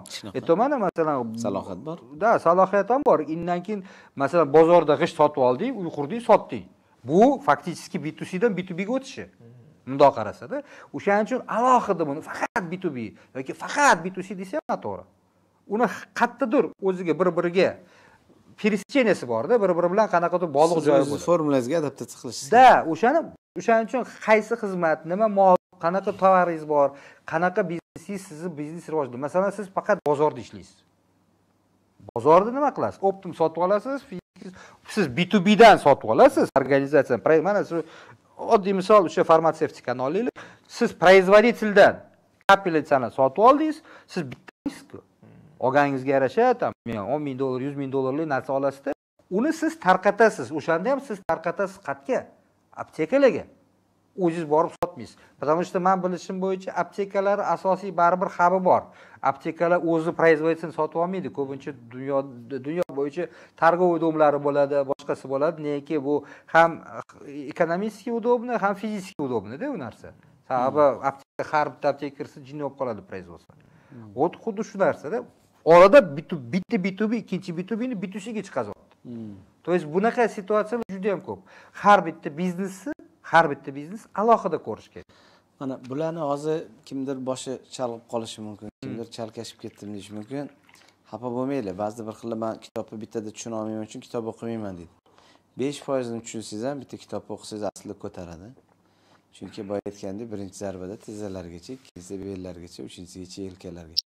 Siz bu narsani ko'raverib ko'raverib ko'raverib eshitaversangiz keyin bir kun emas bir kun qarorlaringizga ta'sir qiladi. Ho'p mana man mani biznesim mana bunaqa. Man b to bga boraymi b to cga boraymi b to gga boraymi nimani nima qilsa nima bo'ladi? Nimaga u yoqqa borishim kerak bu yoqqa borishim kerak emas. Yo'q bularga to'g'ri kelgan gap manga to'g'ri kelmas ekan. O'sha kimga nima gap to'g'ri keldiyu u evrika manga mana bu gap to'g'ri kelar ekan deydigan joyini topish uchun mana shunga o'xshagan suhbatlarga bahramand bo'lib eshitib turaverasiz. Chunki bu suhbatlarni eshitishdan maqsad sotuvni oshirish.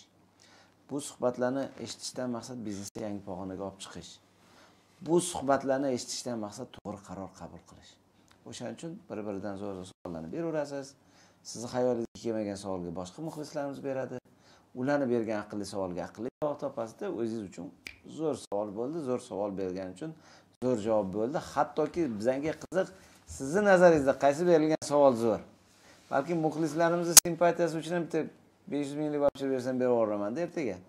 Eng zo'r savol bugungi ko'rsatuvda mana bu bo'ldi va eng zo'r savol javob mana bu bo'ldi desanglar o'sha ko'p layk oladimi yo ko'p komment oladimi ularga ham bersak berib yuboramiz biza fe'l keng ko'k choy chunki sizlar b2c sifatida muxlis sifatida bu suhbatlarga muxlis bo'lishinglar. Suhbatlardan bahramand bo'lishinglar qancha ko'p komment yozishinglar qancha ko'p поделиться qilishinglarni evaziga omma ko'proq ko'radi. Biza hattoki shu ko'rinishda infaktida strategiyamiz bor. B c mana ikki millionta auditoriyamiz bor. Ikki millionta auditoriyam bu har bitta inson bittadan inson bo'lsa b c siz siz mana aynan bizlarni ko'rib turibsiz. Uchun hozir b c siz lekin siz shaxsan masalan deylik ravshansiz b to c sifatida. Lekin siz m faktor nomidan manga klient bo'lib chiqsangiz yo dex nomidan bo'lib u yoki bu tashkilotingizdan chiqsangiz b to bni nomidan chiqasiz.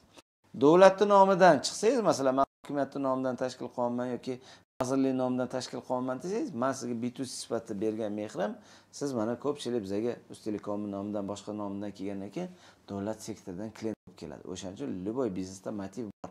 Mehrni beramiz odam o'ziga savol javob qabul qiladi va bir kun emas bir kun qaror bilan keladi o'shaning uchun keyingi savollarga o'tamiz. keyingi savolga o'taylik. Mana shu muhiddin asadov degan yigit yozibdilar ja qiziq savol. Haqiqatdan ham hozir aytyaptilar endi mana ko'p pul haqida gapiryapsiz расход va доход haqida gapiryapsiz zakot ehson a, haqida odamlarga muhtojligi yordam haqida degan narsa.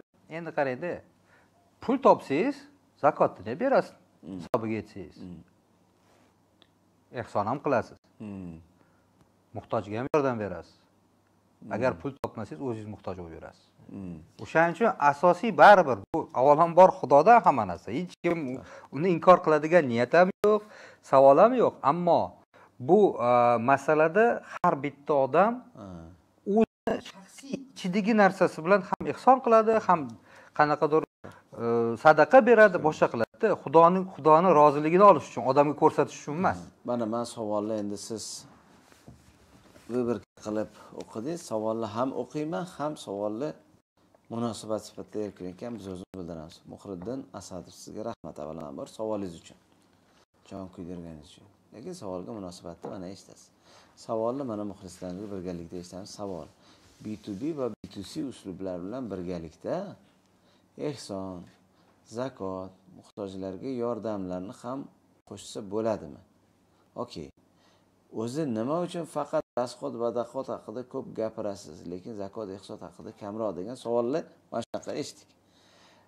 Savol uchun rahmat baraka toping yaxshi mavzuni ko'taribsiz deb buyog'ini hali haligi gamburger metridi bo'yicha minnatdorchilik bildirdi endi mavzuga qaytamiz. Bugun biza qora akani chaqirganimiz yo'q. Ramazondagi ilm ahli bilan zakot va ehson haqida mavzuga suhbatga kelganimiz yo'q. Bugun biza biznesga kiradigan bo'lsangiz bular aytganlari zakot beraman desangiz ehson qilaman desangiz puli bor mard puli yo'q nomard pulingiz bo'lsin deb zakot ehson bera oladigan insonlarni soni ko'paysin. Puli ham sizga mana shanba kun yoki yakshanba kun pul to'lab keladiganlar elliktadir yuztadir odam kelsa bir kun ichida besh mingta просмотр bo'ladi. Besh mingta odam besh yuz mingdan to'lab kelishga yo vaqti yo'q yo puli yo'q? Bular shu bilan bepulga ulashganlar. Ham o'ziga xos insonni qalbida pulga oladigan narsani bepulga ulashganimga alloh rozi bo'lsin desa bu ham o'sha sadaqai joriya o'sha ehsonni bu ko'rinish. M faktori qadriyatiga to'g'ri keladi bularni qadriyatiga bizga qadriyatiga to'g'ri keladi. Biza bu ko'rinishda ilm ko'rinishda zakotdir ehsondir sadaqai joriyadir. Bunaqa imkoniyatni bizani spikerlarimizga tajribali insonlarimizga muxlislarimizga bir platforma sifatida berdik. Endi man ham zakot beradigan inson bo'ling man ham ehson qiladigan inson bo'ling man ham sadaqa beradigan inson bo'ling deganlarni soni ko'payishi uchun sotuvimni oshirishim kerak biznesimni oshirishim kerak A, biznesda masalalar ko'p savollar ko'p deganda bugun bor yo'g'i katta savollar bugun quloq haqida gapiryapmiz yo burun haqida gaplashyapmiz yo pochka haqida gaplashyapmiz degandek bugun biz bitta dona b to b b to c sohasida sotuv oshirish savdoni yangi pog'onaga olib chiqish haqida mavzuga keldik mabodo yo'q man zakot haqida infaktorda suhbat bormi desangiz bundoq qidirsangiz ulamolar bilan yoki ehsonlar haqida qadriyatlar haqida qilgan oldingi playlistlarimizda u savollarga albatta batafsil javob topamiz o'ylaymanki savolingizga dilingizni og'ritmagan holda bir chiroyliroq javob berishga harakat qildik. Sizga savol uchun rahmat keyingi savollarga o'tamiz. Jamshid po'latov savol beribdilar b to b savdoda klientni oldiga qanday qilib kirsa bo'ladi? Klient topish effektiv usullari avtomatizatsiya programmalarini va xizmat sotishda. Savol. Yaxshi savol. Haqiqatdan ham endi bu bitta savol ichiga ichiga bular jamshid faktiski hamma mana shu talablarni qo'yibdilarda. B to bni rivojlantirish uchun xuddi mana shu aytayotgan narsani hammasini qilish kerak. Qanaqa qilish? U уже uslub alohida. Uni masalan biza yakshanba kuni ham bir ikkita keys qilib ko'ramiz. Inshaalloh bu agar qaytaringlar o'sha savolda tursin to keyingi e, e, savdo klient oldiga qanday qilib bor qilib qilib kirsa bo'ladida bo'ladi endi qisqa ikkita uchta nima aytaman a так фактически har bitta b to b savdosi avvalambor tushunish kerak haqiqatdan b to b savdo emas birinchidan o'shanga qarab уже uslub ham ishlab tanlanadida man aytgandim bundan oldin e, b to b savdoda har doim odam sotadi. Kompaniyaga sotgan holda ham odam odamiga sotadi. O'shaning uchun servis o'shaning uchun muomala o'shaning uchun to'g'ri kirish o'shaning uchun o'ziga yarasha qanaqadir uslublar bor. Холодный звонок bo'ladimi kontaktniy sentr bo'ladimi boshqasi bo'ladimi u biznesdan bog'liq. Qaysi tovar qaysi usluga berayotganidan bog'liq. O'shaning uchun bu yerda hozir avtomatizatsiya programmalari qanaqalar? Klient topish effektiv usullari bular aytmoqchilarki biznesdan kelib chiqqan holda qarash kerak bu narsa. Qaysi biznes? Nima bilan shug'ullanadi? Ha, bular aytyaptilarki biz avtomatizatsiya programmalarini To'ppa o'sha kompaniyalarga yasab beramiz. Man crm yasab beradigan kompaniya emas siz uchun yasab beraman. Shunaqa it sohada Hop. klientni qanaqa topaman deyapti. Bo'ldi. To'ppa to'g'ri man qo'shimcha qilib beraman. Balki boshi savolni to'g'ri tushunish savolni javobni berishiga juda to'g'ri ta'sir qiladi. Haqiqatdan ham mana jamshid po'latov muxlisimiz aytyaptilar man avtomatizatsiya programmalarini xizmat ko'rsatish o'shani tayyorlash sohasida ishlayman. Okey savolim shundan iboratki b to b savdoda klientni oldiga qanday qilib kirsa bo'ladi? Man shu narsani xizmatlarni b to bga qandoq qilib sotishim kerak? Klient topish effektiv. Albatta aktiv sotuvlar passiv sotuvlar. Отдел обслуживания или отдел активных продаж отдел обслуживания bo'ladi отдел пассивных продаж bo'ladi. Marketingingiz bo'lmasa telefon qilasiz. Assalomu alaykum. Hasan aka yaxshimisiz? Ha biznes avtomatizatsiya bo'yicha agar bu xizmatlar bo'lsa bir vaqtingiz bo'lsa vaqtingizni ajratsangiz. Balki sizga qadrli. Birinchi navbatda klientingiz kim? Farm kompaniyalarmi? O'quv markazlarmi? Boshqalarni oldin segmentda ajratasiz. O'shaning uchun biza mana bu erkin akamga o'xshagan odamga hammaga sotib ko'rdim audit qiling qayerda ko'proq ish bergan. Qaysi klientlar ko'proq bizga pulni tashlab ketgan degan savolni qo'yamiz.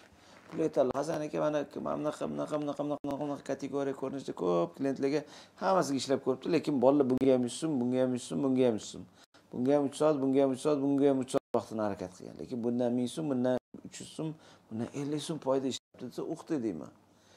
Bulardan kechasan bular qizil klient bular sariq klient yashil klientlarga urg'u ber bitta bank klienting yuz million ekan mana bu klienting bir million ekan. O'nta bankka fokus qaratgin ukam deymiz. Endi mana birinchi klientingizni segmentingizni topganingizdan keyin bankirlar bilan masalan aloqani o'rnatasan. Bankirlarni psixologiyasi qanaqa consumer behavior deydi uni o'sha tabiati qanaqa nimani sotib oladi nimaga sotib oladi qandoq sotib oladi formulasini tushungandan keyin o'nta bank bilan ishlash qiyinroq osonroq bo'ladi. Birinchi bankda qiyin bo'lgan narsani yechimini topganingizdan keyin qolgan banklarga sotishingiz oson bo'ladi sizni o'shaning uchun boyagi narsa yo telefon qilib aktivni продажа qilasiz. Yoki masalan deylik man bankka bankka yoki deylik borgan dexga yoki deylik enfaktorga yoki borgan pitseriyaga avtomatizatsiya qilsam bitta pitseriyaga borib aka man uchun siz qadrlisiz. Yeb ko'ring yoqmasa pulni bermaysiz. Yoki mana man bu odamga mana bunaqa yechim qilganman. Agar qadrli bo'lsa vaqtingiz bo'lsa bir gaplashaylik deysiz. Birinchi navbatda klient sizni jini suydi suymadi. Dunyoqarashingiz yoqdi yoqmadi. Qilgan portfolioingizni oldin omadini oldin atrobotga qiling portfolioga ishlang. Keyin qolganini mana qilgan ishim mana erkin akamni qandoq sotib olganman bilaynda ishlagan ekanlar b to b direktor bo'lgan ekanlar. B to bda umrlarini sarflaganlar u yerda direktor bo'lganlar b to b sektor bilan ishlaganlar. Demak bundagi tajribalarni mani kompaniyamga adaptatsiya qila oladilarmi yo'qmi degan savolga javob topdim. Mundoq o'sha to'rtta jinim suygan savollarga javob topgandan keyin bo'ldi siz bilan bir oy ishlab ko'raylik mabodo nasib qilgan bo'lsa bir yildir ikki yildir uch yildir olloh nasib bo'yicha ishlaymiz dedik.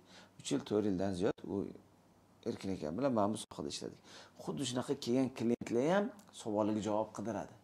Shu bolani turqi yoqdimi yoqmadimi jinim suydimi suymadimi deydi. Birinchi navbatda sizni sotib oladi. Keyin bu qaysi kompaniyani vakili ekan? Bu palonchi international ekan pistonchi servis ekan yo palonchi avtomatization degan korxona ekan. Ho'p okey deydi kompaniya sotib oladi. Kimga mol sotgansiz degan savolga javob topadi. Qaror qabul qiluvchi savollarni javobini topgandan keyin chiroyli qilib upakovka qilib chiroyli pozitsioner qila olsangiz bo'ldi. Hattoki biza mahsulotimizdan u mana erkin akam bilan hozir gaplashib turibmiz. Manga javohir yuz so'mlik sotuv qilsa ravshan o'n so'mlik sotuv qiladi. Ravshan ham yuz so'mlik sotuv qilish uchun mahsulotimdan servisimdan xizmatimdan qo'rqmayman. Endi ro'shan tarbiyalashimiz kerak deymiz. Klient kelsa ravshanni xarizmasi ravshanni mahsulotni bilishi bozorni bilishi klientni bilishi konkurentni bilishi klientga o'shani sen meni ishontir muhabbatingga degan jarayonni o'tishini osonlashtiradi. O'shaning uchun hamma savollaringizga javob topishingiz uchun b to b nima b to c nima b to g nima degan savolga javob topasiz. Keyin sammatsenkingizga javob topasiz. Sotuvchilar kursi haqida kurslarga javob topasiz. O'sha bilimingizni o'zingizga pul tikkaningizdan keyin siz borib qo'rqmasdan o'n millionlik emas yuz millionlik klient bilan zo'r gaplashasiz. Bu endi katta mavzu sotuvchilar xatosi degan kurslarimiz bor boshqa kurslar bor. O'sha kurslarni tomosha qilsangiz ko'p savolingizga javob topasiz xudo xohlasa. Ustoz yaxshi savol bor ekan. Mirkomil imomov savol beribdilar biznes egalari bu kabi terminlarni bilishi ularga qanday manfaat keltiradi deyaptilar masalan b to b b to c kabi terminlarni bilishi qanaqa manfaatli bo'ladi ularga masalan avtomatizatsiya deyilyapti bu yoqda nima o'zi bular shunaqa terminlarni biznes egalari bilishi kerakmi? Nima uchun bilish kerak zachем nima uchun? Birinchi очередь pulni yo'qotmaslik uchun. Ha. Agarki siz bor mana har har doim любой kompaniyada resurs ограниченный. Resurs yetmaydi. Resurs nima bo'ladi? Resurs degani pul yetishmovchilik. Pulingiz bor lekin qanaqadir оборотda bor qanaqadir yangilik qilish uchun qanaqadir pul topishingiz kerak boshqa qilsa даже savdo bo'lgan har taqdirda ham har doim kompaniyada qanaqadir yetishmovchilik bo'ladi. Odam yetmaydi. Masalan odam soni emas sifati. Hozir mana mana shu e faktor nima bilan shug'ullanyapti aholini bilim saviyasini oshirish bilan shug'ullanyapti mana masalan o'sha e, to'g'ri aytdingiz savobiga bo'ladi boshqasi youtubeda mana to'rt yuz mingta подписчик bor. U o'zi emasda. O'zbekistonda bormi uch shunaqa yuz kompaniya oltmish olti mingta obunachi ikki millionta auditoriya ikki millionta ikki millionta bizani tomosha qilayotganlardan bor yo'g'i uch yuz oltmish olti mingta подписка knopkasini bosgan mana hozir shu paytda o'zi qirq bitta layvda ko'rayotgan insondan nechta odam obuna knopkasini bosgan? Bir qarab ko'ring. Mabodo obuna knopkasini bosmagan bo'lsangiz sizdan bitta obuna knopkani bossangiz bizani loyihamizni rivojiga qiziq narsalar bo'ladi. xuddi shu aytayotgan narsangiz birinchi очередь odamlar mana bilim saviyasi endi o'zinglar bilasizlar. Masalan ilm bilim musulmonchilikka ham birinchi очередь iqro degan so'z kelganda o'sha narsani ham bilim bo'lmasa ilm bo'lmasa nimaga yetib borasan? Biznes egasi bo'lganing bilan biznes egani farqi bor. Kimdir oddiy bitta bozorda bitta qay- qaysi rastasini o'sha bilmayman qo'yliqqa borib qo'yliqdan mol olib kelib biron bitta bozorda sotyapti. U ham biznes. Ham halol biznes hech qanaqa nimamiz yo'q. Bu yerda e, lekin u o'sha rastada yashayveradi. U rastadan oshmaydi o'zgarmaydi ko'paymaydi. Kimdir bir rastadan boshladi sekin yana bitta rasta qo'shdi yana qildi qildi o'zgarish har bitta odam o'zidan bog'liqda.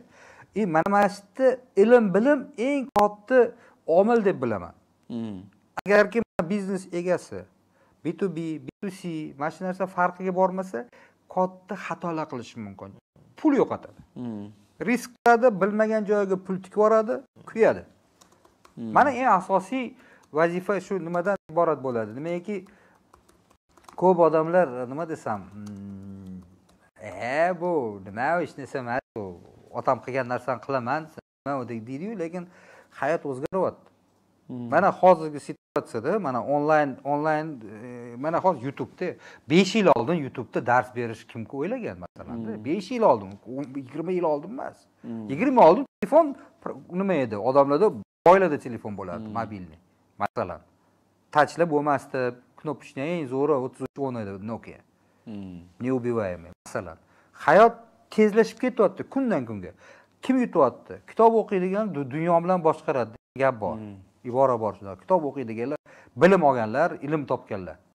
O'shaning uchun b to bni b to cni nimaligini bilish maqsadida ham mana bu yakshanba kun bo'ladigan a, tadbirimizda ham xuddi shu maqsadda. Odamlarga birinchi birinchi tushunishda tushunchasini berish. To'g'ri qaror qabul qilishingiz sababchi bo'ladi. Da to'g'ri qaror qabul qilsa b to bni bilsangiz b to cni bilsangiz b to gni bilsangiz mana bu yerda ketgan umrim yuz so'm ishlasa mana bu yerga ketgan ikki yuz so'm ishlasa mana bu yerga ketgan umrim ming so'm ishlarkan faqat man b sektorda davlat sektorida sal ishlashim qiyinroq ekan. Manga b c sektori yoqar ekan desangiz u yoqqa borasiz. Yo manga b to b sektori yaxshi ekan kompaniyalar bilan korxonalar bilan ishlar ekanman har bitta korxonani o'zini psixologiyasi bor. Har bitta klient o'zini psixologiyasi bor. Boshqalar bilmagan narsaga savolingizga javob topib va o'shani bilsangiz kimgadir qiyin narsa kimgadir oson. Boshqalar qiyin bo'lgan narsa sizga oson bo'lsa o'sha yerda yaxshi daromad yaxshi salohiyat imkoniyati bor. Sizni mahsulotingizni boyagi aytgandek qaysi sektorga sotish qaysi segmentga sotish kimga qaysi uslubda sotish savoliga javobini bilsangiz anglab yetsangiz siz qaror qabul qilasiz. Bo'ldi man bu sektordan kechaman bu sohaga fokus qarataman. Yo man bu sohada salohiyat ko'ryapman deb umringizni vaqtingizni harakatingizni xarajatingizni shunga sarflasangiz yaxshiroq daromad topishingizga savolga javob qidirgan bo'lasiz. Keyingi savol azizbek quliyev savol beryaptilar. O'zbekiston bozorida raqobat kuchli bo'lgan segmentga B2B bilan qanday raqobat qilib bozorga kirish kerak yoki B2C dan boshlash kerakmi deyaptilar moldan bog'liq. Moldan bog'liq. Nima xizmat nima tovar? Hmm. o'shandan bog'liqda o'sha yana bir bor. A, o'sha qaysi segment nimaligi b2c nimaligi b2b nimaligi tushungan holda tanlash tanlash masalasi ochiq bo'ladida o'shanda tushunsa bo'ladi. Hozir bu yerda ham a, qaysi b2b bilan qaysi segmentga kirish masalasi turibdida u yerda nima qilyapti? Nima sotyapti nima ishlab chiqaryapti buni ichiga kirish kerak. Buni tushunish kerak avvalambor. Kim потребитель kim oxirgi mijoz? Agarki yana bir bor qaytaramiz. Siz oddiy qaysidir shaxsni e, talablarini qoniqtirsangiz b2cga kirib ketadi. Agar shu sizni sotgan molingiz yoki xizmatingiz hisobidan u klientingiz mijozingiz pul topsa oshsa b2b bo'ladi. Man qo'shimcha qilaman mana manda savolni tushunmadim degan muxlislarimiz bo'lishi mumkin. Savol o'zbekiston bozorida. Raqobat kuchli bo'lgan segmentda. B2b bilan qanday raqobat olib bozorga kirish kerak yoki b2c bilan boshlash kerakmi boshida deyapsiz mana oddiy kanstovar misolda aytamiz. Raqobat katta bozor. Siz kanstovar o'rniga o'zingizni mahsulotingizni qo'yib raqobat ko'p. Kanstovar sektoriga kirsam b2c dan boshlaymi b2bdan boshlaymi b2gdan boshlaymi deb tushundik ham savol. Xohlaganingizdan boshlang lekin maqsad bittasi keladida man universitetni oldida talabalarga konstovar sotmoqchiman. Bir ikki yildan keyin qilsa keyin davlat sektoriga yoki gos sektoriga emas B2 biznes sektoriga sotmoqchiman desa man aytamanki aka talabalar maksimum bersa besh ming o'n ming ellik ming yuz mingdan pulni tashlaydi. Bitta ishxona borsa eng kamida besh yuz ming chek tashlaydi o'shanga ham shu magazin bunga ham shu magazin o'shanga ham shunga o'shanga o'xshagan xodim bunga ham o'shanga o'xshagan xodim. Agar farqi yo'q bo'lsa prioritet fokus bo'lganda mayli b two zni olib turingda b two bni nakopливать qilib bu naxlebni ishlab turib keyin b two cdan ketsangiz fokusingiz korporativniy segmentda salohiyat katta. Lekin gos sektori ololsangiz masalan deylik ishxonamga besh yuz ming yo bir million ikki million sarflasam davlat sektorida ellik millionlab yuz millionlab sarflaydigan segment bor. Uni ola olish uchun duh kerak uni ola olish uchun salohiyat kerak uni ola olish uchun tajriba kerak. O'shaning uchun o'rtadagi segmentda b two cga nisbatan salohiyat kattaroq. Unga перечисление molini tushunishingiz kerak anglashingiz kerak do'g'ri tushunishingiz kerak. Man tushunmayman-da ichidan olib shundoq ko'chaga sotaveraman terminalimni qo'yib uraveraman desangiz tajribangiz kam bo'lsa eng osonasi albatta. Ham oson ham raqobat katta ham marjasi kichkina bo'lgan segment ham baraka topish qiyinroq bo'lgan segment b two c segment. Lekin hasan aka B2C segment barakasi yo'q deyapsiz korzinka butun b two cda ellikdan ziyod yetmishdan ziyod yuzga yaqin filial ochdiku. Ha bu strategiya уже masshtab qildi. Hattoki kanslik do'kon bugungi kunda o'n beshta yigirmata filiali borda. U уже biznesni masshtab qilish hisobidan qilyapti siz bitta dona chepadan boshlaganingizda yo'qdan ko'ra aytyapman xususiy tadbirkor sifatida oddiy parda sotsangiz ham serenada pardalari b two cdan sotadi. Lekin serenada pardalar do'g'ri ochib korxonalarga mehmonxonalarga pechlinik sotaman deyishni boshlasa chepa serenadani ochadida ha serenadaga maqtaydigan gaplar yoqadigan gaplarni ayting.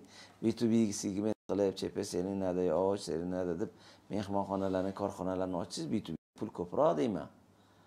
Ha unda b two bni ham sektorini bilib olavering desa "E, ishonaver agar san go'z zakazni olsang bormi b two gda? Gos zakazchilar bilan ishlash psixologiyasini tushunsang bormi?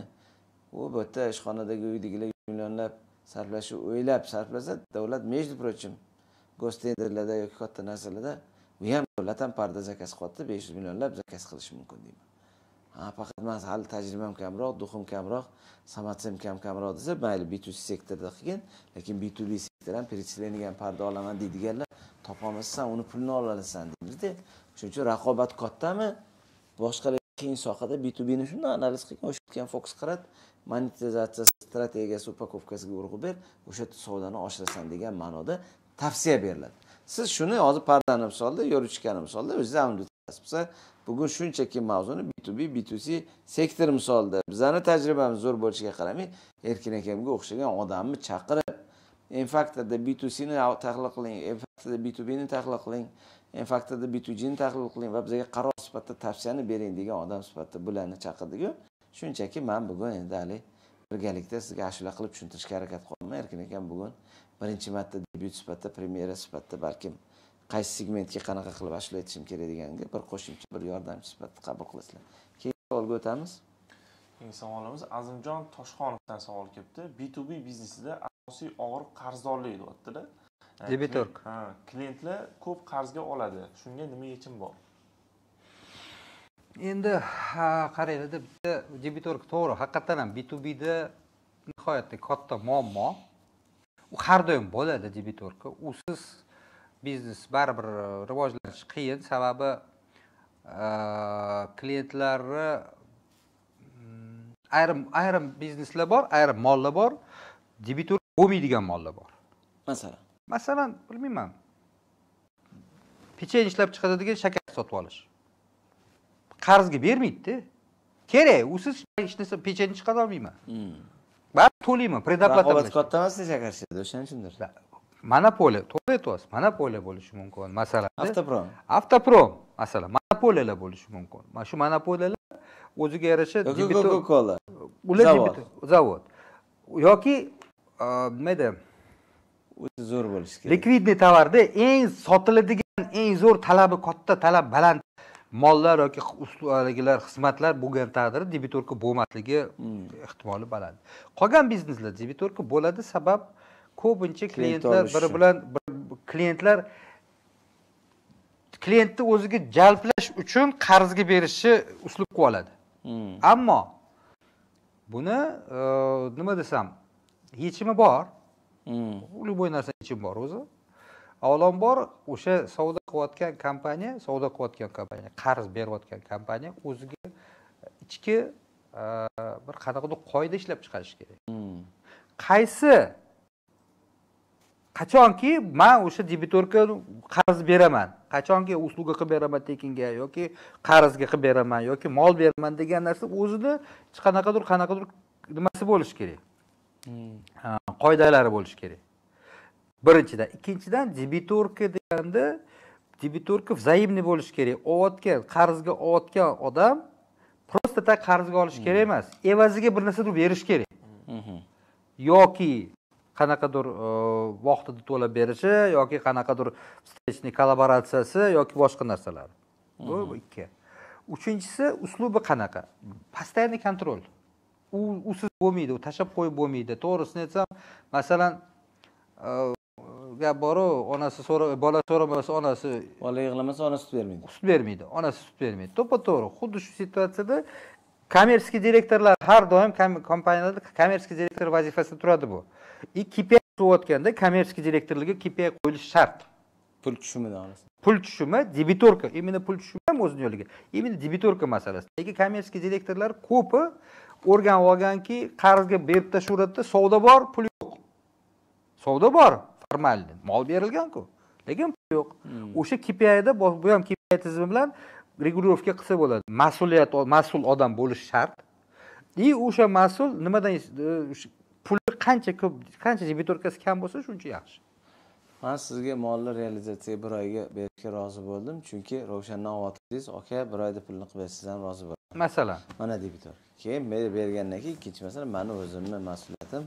Jon akajon ana daflatani qiling yana man sizga keyingi mollarim uchun расходный materialga sizga unga bunga pul kerak deb tursam mayli deysizda muomala yo nima bo'lsa aka beraman deysiz keyin ravshan keladi aka hasan akam bir oyga bergancha man bir oyga yigirma kunga beraman desa shu bilan konkurensiya ko'p bo'lgani uchun odamlar bugun majbur bo'lyapti lekin shunga qaramay servisingiz zo'r bo'lib man bilan o'rganganingizdan keyin man aytaman aka sizni ham tirikchiligingiz shundan mani ham tirikchiligim shundan lekin man sizga yanada yanada sifatliroq yaxshi mol berishim uchun menga ham to'lab turing.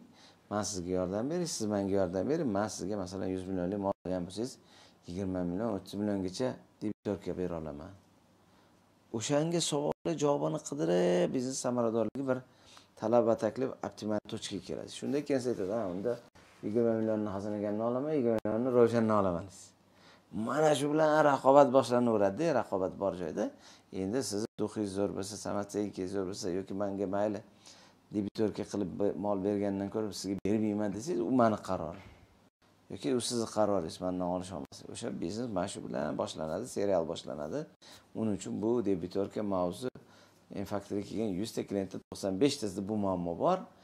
Samatsenkasi kuchli brendi kuchli salohiyati kuchli. Yoki qandoq qilib uxlab ketmaslik. Man bir xil kompaniyalarni beraman. Bilaman ko'chada bir milliardlab debitorka molim bor. deydi xodimlar almashib ketgan hozir hammasiga telefon qilib chiqsam kamida besh yuz ming uxlab ketgan deydi chunki distribyutorlar dilerlar agentlar uxlatib yuborgan o'shaning uchun перечислениеga ishlang deymiz. Chunki ravshan официально mandan yuz million qarz bo'lsa manga beradi. Lekin ravshan manga yuz million наличкаga qarz bersa bolalarim ravshan aka million bersangiz o'n millionni o'tib berar ekanman deb pulni ham uxlatib ketgan holatlarni bilaman. O'sha gapni qo'shimcha to'g'ri aytdingiz. Ko'p mana bizneslarda servis sxemalar ko'pda. Hmm. o'sha servis sxemada baribir hozir mana mana besh olti yilda haqiqatdan ham katta o'zgarishlar bo'lyapti. Davlat tarafdan поддержка bo'lyapti shu soliq tarafdan bo'ladi boshqa tarafdan hozirgi situatsiyada mana o'zbekiston biznesi mani o'zim tushuncham bu? Ochiq oydin shaffof ishlashga moslashyapti moslashyapti sabab qancha ochiq bo'lsa qancha oydin bo'lsa o'zi заплати налоги спи спокойно degan fikrga kelyapti baribir налогlar kamayyapti nisbatan eslasangiz qanaqa bo'lgani necha foiz общий выручкаdan ketgani hozir qancha o'zgargani o'sha narsalar bo'lyapti o'ziga yarasha xatolar bor o'ziga yarasha yutuqlar bor hamma narsa bu shunaqa jarayon o'zi tegitu bilan lekin asosiy fikr hozir seriyada ishlayotgan kompaniyalar debitorkasi ko'p o'shandan bo'ladi. To'g'ri pulni oldi molni oldi bo'ldi до свидос shunaqalar juda yam ko'p. Agarki siz o'sha перечисление bilan ishlasangiz yoki qanaqadir qog'oz dokument onlayn dokument bo'lganda siz sud orqali ham qaytarishingiz mumkinda. Sudlar ishlaydi shuni masalasi sпрос qilasiz sпрос qilishga asos bor ayrimlari честный gap gapga ishonib boshqa qilib ko'p nimadan puldan ajratadigan situatsiya. Savolimiz ko'pmi nechta bor? Azil azil bilan ikki soat vaqt o'tdi. Uchtami? Bo'lmasa shu ikkita uchta savolga urg'u beramizda. Azizlar mani ham zaklatim bor soat olti yarim yettida tadbirim bordi. Ozmi ko'pmi? Bitta bittadan bo'lsa ham mavzularni yoritishga harakat qildik. Mana hozir shahriyor murodovdan savol kelib turib o'shani o'qib beradilar koreyadan shahriyor koreyadan javob berayotgan ekanlar. Amazon platformasida b2bda ishlashni kimdan darsliklarni qayerdan olsak bo'ladi? Javob uchun rahmat. Demak amazon degan platforma bor u yerda e, b2b savdoni kimdan darslik qilib olsak bo'ladi deyaptilar jek bada. To'g'risini aytsam amazon nima o'zi? Platforma Pla- savdo sotuv marketplace. Это asosiy maqsadi asosiy yutug'i u plashatka. Amazon o'zi savdo qilmaydi. Amazon возможность beradi man mana shu yerda qo'ydim bozorda bu faktiski marketplace. Olexga o'xshagan. Olexga o'xshagan. Ilgari tork edi tork o'zidimi boshqa edi. Butun dunyo bo'yicha o'sha alibaba bo'ladimi ebay bo'ladimi boshqasi bo'ladimi? Amazon ham xuddi shu situatsiya. Kim o'rgatadi kim o'qitadi? To'g'risini aytsam man bilmayman. Yo man hozir rossiyada ko'p kuzatyapman marketplacelarda pul topish marketplacelarda savdoni oshirish man boshqa o'zbekistonda boshqa deyapti. Endi bizada o'zbekistonda hali marketplacelarni o'zi rivojlanmagan odamlar hali amazonda oldi sotdi ko'paymagani uchun hali bu boradagi tajribali mutaxassislar kam bu boradagi tavsiyadagi kontentlar kam o'zbek tilida. Lekin man rossiyskida mana evenga degan kompaniyani nimasini qarang полный marketplaceda qandoq qilib sotuv oshirish marketplaceda qandoq qilib pozitsionировать qilish marketplaceda qanaqa qilib strategiyani to'g'ri tanlash hamma marketplaceda daromadni oshirish bo'yicha bitta alohida kanal qilgan o'shalarga o'rgatib yana cross uslugalarni yoki auditlarni boshqalarni qilib daromad qilyapti o'rgatish hisobida sizni sotuvingizni oshirish uchun pul o'rgataman manga pul to'laysiz deyapti bepul kontent просто o'zbekistonda hali kam o'zbekistonda hattoki man amazonda ko'p taklif qilib ko'p pul ishlab nima qilayotgan bolalarni kam bilaman. Uchun hatto mutaxassis bilmayman. Kim amazondan o'zbekistonda turib qancha pul ishlaganini bilmayman. U bilgan odam bilganda bundoq erkin aka bo'lishib давай keling amazonda zo'r daromad trendga aylandi. Buni o'rgating dedim buni hozir faqatgina amazondagi mavzularni yo o'zbek tilida e, yo rus tilida yo ingliz tilida. Albatta youtubeda poyezd bersangiz youtubeda hamma savolga javob bor faqat hozircha o'zbek tilida u javoblar yo'q. Mani javobim shu bo'ladi. Keyingi savolga o'tamiz. Keyingi savolimiz mavzudan tashqari savol ekan. E, meni savolim shundaki biznesmen bo'lish uchun ota onaning o'rni ota ona olgan motivatsiyalari e'tiboringiz uchun rahmat. Ota onadan olgan motivatsiyalari biznesda qanaqa o'rni bor? Mavzudan tashqari savol. Qiziq savol. Man baribir bu bunaqa savollarga baribir odam shaxsiy o'zini yondashish bo'yicha gapiradida avvalambor ota ona bu judayam nima desam har bitta odamni har bitta insonni yaratib xudoni yaratgan ota ona tarbiyalab boqib katta qilib o'qitib tar- nima qilgan odamlar bo'ladi baribir. Lekin ularni rolini qiziq narsa mana qarangda ayrim holatlarda ko'raman man yoshlar особенно yoshlarda ko'pincha otasi onasi o'qimagan ey mana bozordan bozordan topasan o'zingni tirikchiligingni pul topasan o'qimagin qaramagin deydigan narsalar ham borda. Lekin mana oxirgi yillarda man o'ylashim bo'yicha mana m faktorda ham ko'rsa bo'ladi. Ko'p e, yigitlar qizlar mana shogirdlar kelib o'qiyapti man o'ylashim bo'yicha o'sha ota onasini bor shu yerga o'rgangan. Qanaqadir mana hasan aka husan aka boshqa ustozlardan e, bir qanaqadir manfaat topgan bilim olgin degan narsa o'zidan o'zi kelmaydi. Ko'pincha ota onasini motivatsiyasi nimadan iborat bo'ladi? O'zi ota onasi yuborgan bo'ladi ko'pincha. Yosh o'n yetti yashar o'n sakkiz yashar bolani e, ayrim tajribasi pastligi bilmaganligi uchun bilmasligi mumkin. Otasi aytgan onasi aytgan qani borgin mana mana shuni ko'rdim. Qani shogird bo'lgin boshqa bo'lgin degan joyidada lekin motivatsiyasi deb nima desa bo'ladi? Qarigan chog'imda mani qariydigan bo'ladi. Bu ham motivatsiya o'ziga yarasha. Bu biznesmen bo'lish biznesmen bo'lish bu degan nima o'zbeklarimizni zo'r bo'ladi? Qo'shnim somsachi somsa zo'r. Somsachi bo'lish kerak deydi. U somsani qanaqa murakkab qanaqa ishi ko'pu qancha xarajat harakat qilish kerak o'rganish kerak somsa somsa o'sha uni o'ylamaydida hech qachon bu yerda ota onasini ma'nashi bo'yicha katta vazifasi yaxshilik tilaydi boy bo'lsin deydi mana o'zini o'ylaydi bola chaqasi kelajakda mana shu nevaralari ravaralarini o'ylaydi. O'shalarni to'g'ri yo'naltirish bolalarni to'g'ri yo'naltirish asosiy vazifasi deb bilaman. To'g'ri o'ylab qani san shu biznesmen bo'lmoqchisan. Nima sababdan? Qanaqa nimaga bo'lmoqchisan degan savol o'ziga berish kerakda o'zi bolasiga ham translyatsiya qilish kerak bo'ladi deb o'ylayman. Endi bu shaxsiy mana qarang man boshqacha qilib o'xshatib bersam o'zim talqin. Bolam matematik bo'lish uchun yoki bolam aytishni bo'lsin nima qilish kerak desam manga yaqinroq bo'ladi bu savol chunki man tadbirkormanda bolam tadbirkorlar muhitida yashayapti. Tadbirkor bo'lish shansi ko'proq lekin matematiklar muhitida yoki aytishnilar muhitida yashamagan uchun man qo'llab quvvatlashim kerak agar shu sohada qiziqsa. Xuddi shunaqa ota onalarimiz tadbirkor bo'lmasa tadbirkorlarni atrofida yurishga tadbirkorlarni bilimini olishga bo'lma deganda bolam ilindim sanga mana buni tomosha qil deyishimiz kerak. Mana zo'r narsa bor biznes haqida kanal bor biznes haqida zo'r zo'r spikerlarni suhbatlari bor uni tomosha qilish kerak. Birinchidan to futbol haqida ko'rsatuvlarni ko'rsangiz futbolga qiziqishingiz boshlagandek biznesga qiziqishingiz boshlanadi. Keyin biznesdagi qiziqishlaringizdagi savollarga javob topishga harakat qilasiz. O'shaning uchun ota ona bo'lma deganda yaxshilik qilmasa ham yomonlik qilish kerak emas. Bu birinchi savolga javob. Iloji bo'lsa yaxshilik qilib qo'llab quvvatlash kerak. Mani bolam futbolga qiziqsa qarshilik qildirishim kerak emas. Iloji bo'lsa futbol kompaniyalariga olib borishim kerak koptok olib berishim kerak. Krossovka olib borishim kerak futbolga qiziqsa sharoit yaratishim kerak. O'shaning uchun bugun ota onalarimiz oshing halol bo'lsa ko'chada yeydigandan keyin o'zi tadbirkor bo'lmasa ham shu tadbirkorlarni atrofidagi suhbatlarga tadbirkorlar haqidagi mavzularga bolalarimizni borishiga sharoit yaratishimiz kerak. Va iloji bo'lsa tadbirkorlik ilmlarini olishga stimulировать qilishimiz kerak. Manimcha shu bo'ladi. Oxirgi savol qoldimi? Savol o'zimda bor ustoz. Bering bering. Agarda e, tadbirkorlarimiz sizni yakshanba kuni bo'ladigan tadbiringizga qiziqish bildirganlar bo'lsa kelish kerak sizni tadbiringizga o'sha praktikumga. E, hamma b to cda xizmat ko'rsatadiganlar ham ishlaydiganlar ham kelsa bo'ladimi b to b bilan bo'ladigan endi qarangda bu yerda yana bir borda b to c deb o'tirgan odam b to bga kirib ketgan bo'lishi mumkin. O'zi ham holda. Bu hozir biza mana mo'ljal qilayotgan treningni maqsadi asosiy maqsad. Birinchi tushuncha berish. Nima ekan? Ikkinchi qanaqa uslublar bilan savdoni oshirish. Uchinchisi o'sha savdoni oshirgan holda kelajakda o'sha savdoni qanaqasiga olib ketishda bu buning uchun nima uchun? Kim kim asosiy mm, mas'ul odam? Biznes egalari avvalambor. Biznes egalari.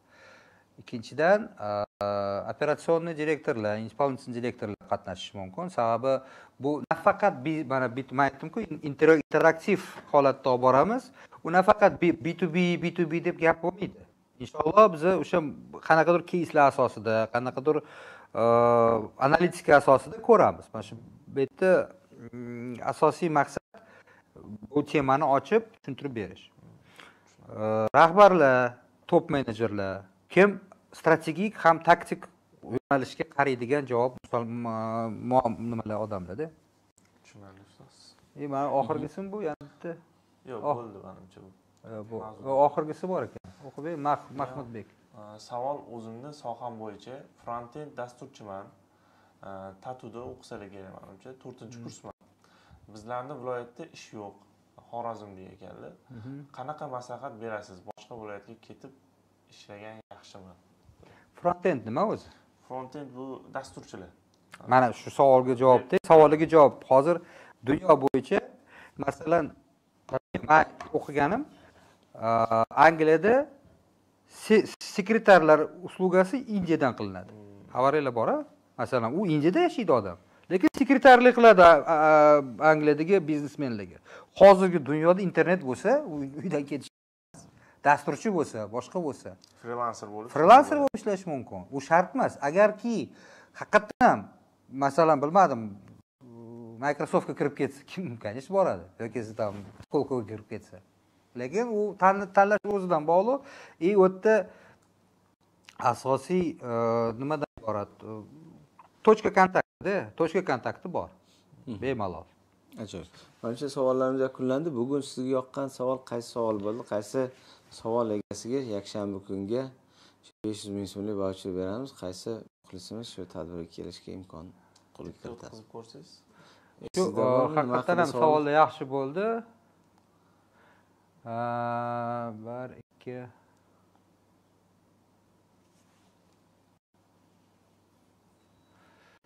Mana mana shu savol ham qiziq. Birinchisi mana farmatsevtikada hatto bitta tanlashimiz kerak. Bitta bitta bo'lsa hozir yana bitta qo'yinglar bo'lmasam xafachilik bo'lmasin ikkita yoqdimi sizga Yo, hozir ko'raman просто ayrimlar bir nimada shu jiz etgan eng yaxshisi manimcha mana bu yaxshiroq bo'ldi qadrliroq crm bo'yicha bu Ha, bu bular avtomatizatsiya crm bo'yicha Ha, dальше shu bozorga kirish b2b sohasida bozorga kirish Aha. klient topish debitorka haqida gapirganingiz endi nani farmatsevtika так farmatsevt savol birinchi bo'ldi. O'shancha savol. mana shohruh ochilov farmatsevtika sohasida b to b ishlatish kengroq tushuntirib bering dedi. Endi demak shohruh ochilov izohlarda man shohruh ochilovman deb yozasiz. Mana shohjahon shogirdimizni videoga olib qo'yadi. Xurshidjon ular sizga aloqaga chiqqanlar n faktor ilovasini o'rnatmagan bo'lsanglar albatta n faktor ilovasini o'rnatinglar n faktor ikkimi yo yigirma ikki sizniki? N faktor yigirma ikki degan telegram akkauntga aloqaga chiqsanglar e, shohjahon shogirdimiz bilan bog'lanasizlar. Siz balansingizga besh yuz ming pul tashlaydi va besh yuz ming pulni pulli tadbirga ishlatishga kelib pul ko'rinishida bermaymiz. Pulli tadbirga bepul kelish imkonini beramiz. Albatta azizlar yana bugun ko'rsatuv haqidagi ko'ngillar to'lgan to'lmagan fikrlar qaysi savolni kelajakda erkin akam bilan batafsil yoritishimizni tavsiya qilasiz? Qaysi mavzularga urg'u berishimizni tavsiya qilasiz? Albatta izohlarda yozib qoldiringlar. Yangi yangi savollar savollarni beringlar. Biza xudo xohlasa bugungi temadan keyin o'zingiz uchun erkin akani yangi faktordagi bir spiker sifatida mutaxassis sifatida qaysi qirralarini kashf qildingiz? Xarizmasini mavzusini sohadagi tajribasini muxlislarga qadrli yoki qadrsiz yoki tema yoqdi yoqmadi spiker yoqdi yoqmadi behijolat xohlagan fikrlarni izzat nafsga tegmagan holda bir chiroyli tavsiya ko'rinishda har qancha kommentlarni yozsanglar biz uchun qadrli bo'ladi va balkim kelajakda besh mingta o'n mingta prosmotrdan keyin erkin akam sizlarni bergan savolinglarga kommentlarda javob beradilar ma'qul topsa yoqsa balkim besh mingtada yo o'n mingta prosmotrda yana xohlagan odamga besh yuz ming vaucher berishlariga sizga imkoniyat beramiz. Chunki erkin akam boshqa spikerdan farqli o'laroq infaktorning yangi ijrochi direktorlar. Biza o'ziga xos bugun infaktorning yangi rahbarini tanishtirish uchun premyera deydimi debyut deydimi bir efirga chiqdik man o'ylaymanki kelajakda hali erkin akam bilan ko'p ko'p suhbatlarni guvohi bo'lasizlar. Siz azizlarga agar biznes egasi bo'lsangiz biznesni rahbari bo'lsangiz bularga o'xshagan va biznesni ключевой yoki top menejeri bo'lsangiz sotuv tizimini bir audit qilish sotuv tizimini b to bda yo b to cda yo b to g sektorda rivojlantirishga oid savollarni javobini topolmasangiz albatta bu yakshanba kundagi erkin akam praktikum tadbirlariga keling yaqindan tanishing savollar bo'lsa bering. O'zingizni va o'zizga o'xshagan boshqa sohadagi vakillarni savollariga birgalikda javob toping. Kelajakda lozim topsangiz mana intensiv kurslarga zooming kurslarga balkim shaxsiy individual konsaltinglarga ham xizmatlaridan foydalanishingiz mumkin bo'ladi. O'ylaymanki ozmi ko'pmi ikki soatdan ziyod vaqt qanaqa o'tganini bilmadik. Siz birinchi mana debyutingiz edi. Tadbir oldidan qanaqa hayajonlar bor edi qanaqa ikkilanishlar qoldi va bugungi suhbatdan ko'nglingiz to'ldi to'lmadi. Yakuniy fikrlaringizni bildirsangiz. Avvalambor e, haqiqatdan ham to'g'ri. Aytyapsiz birinchi marta mana shunaqa format bo'lgan e, mavzu mavzularni ochish e, avvalambor qiziq. Haqiqatdan ham o'zim uchun mana bir ikkita savollar kelyapti. Mana savollar kelayotganda praktikumda mana interaktiv qilamiz deyapmiz sha- yakshanba kuni inshaalloh. O'sha yerda даже hozir mana keladigan odamlar qanaqadir kommentariyada qanaqadir savolni yozib bersa ham o'shani ham ko'rib berishimiz mumkin bo'ladi. Keyin sifatida. Endi man сразу aytyapman sinchiklab tegicha iloj bo'lmaydi vaqt bo'lmaydi. Lekin qisman yoki qanaqadir e, поверхностный narsa deb qilsak bo'ladi o'sha qiziq el faktor o'zi mana eng zo'r market place desak mana o'zbekiston bo'yicha market place imенно mana shu bilim olish pulli bo'ladimi? Mana youtube orqali bepul bo'ladimi? Boshqa bo'ladimi? Eng zo'r joy joy deb hisoblasa bo'ladi. Man yana bir bor shunga bir amin bo'ldim. Haqiqatdan ham aa, bu kanallarga ulangan mana shu qiziqqan youtubeda ko'rib kelayotgan odamlarni ertasini o'ylaydigan odamlar deb bilaman negaki ko'p juda yam ko'p. Bugun o'tdi xudo berdi. Ertaga nima bo'lishi xudo biladi degan narsa. Ko'p odamlarda nima qilib qo'ygan lekin bu odamlar ertaga nimaga nimagadir yetib borishi ochiq masalada. A hozir o'zini ustida ishlayotgan o'zini o'ziga o'zi savol berayotgan неудобный savol berayotgan odam rivojlanadi o'sadi. Sport bilan shug'ullan hamma sport bilan shug'ullangan odamlar biladiki nagruzka bermasangiz trenirovka qilmasangiz o'smaysizda. Xuddi shu situatsiyada bu yerda mana hozir yana bir bor ko'rdim. Inshaalloh mana ko'targan mavzumiz qiziq deb o'ylayman. Mana shu vaqtini ajratib ko'rganiga katta rahmat. Yakshanba kun odamlar kelib e, qani savol bersa man ham o'zimni shaxsiy otsenkamda bu ham Mhm. qani mani bilimim yetar ekanmi shu odamlar bilan gaplashib Mhm. mana shu tajribam qanaqadir narsa bilan yordam berolamanmi degan savolga javob topishim man uchun bir qanaqadir e, qiziq narsada ajoyib biza unda shogirdlarimizga nasib qilsa aytamiz Eh, erkin akamni tadbirlari xudo xohlasa nechinchi tadbir Sakkizinchida. Yo'q, praktikum bir yuz o'n to'rt bir yuz o'n to'rtinchi praktikum tadbirga ro'yxatga o'tgan tadbir eh, ishtirokchilarini albatta guruhi bo'ladi. Erkin aka guruhda bo'ladilar. Ungacha erkin akamni mana xudo xohlasa e, tadbirga prezentatsiyalarni ravshan shogirdimiz bilan birgalashib tayyorlashyapti. Oldindan tashiymiz.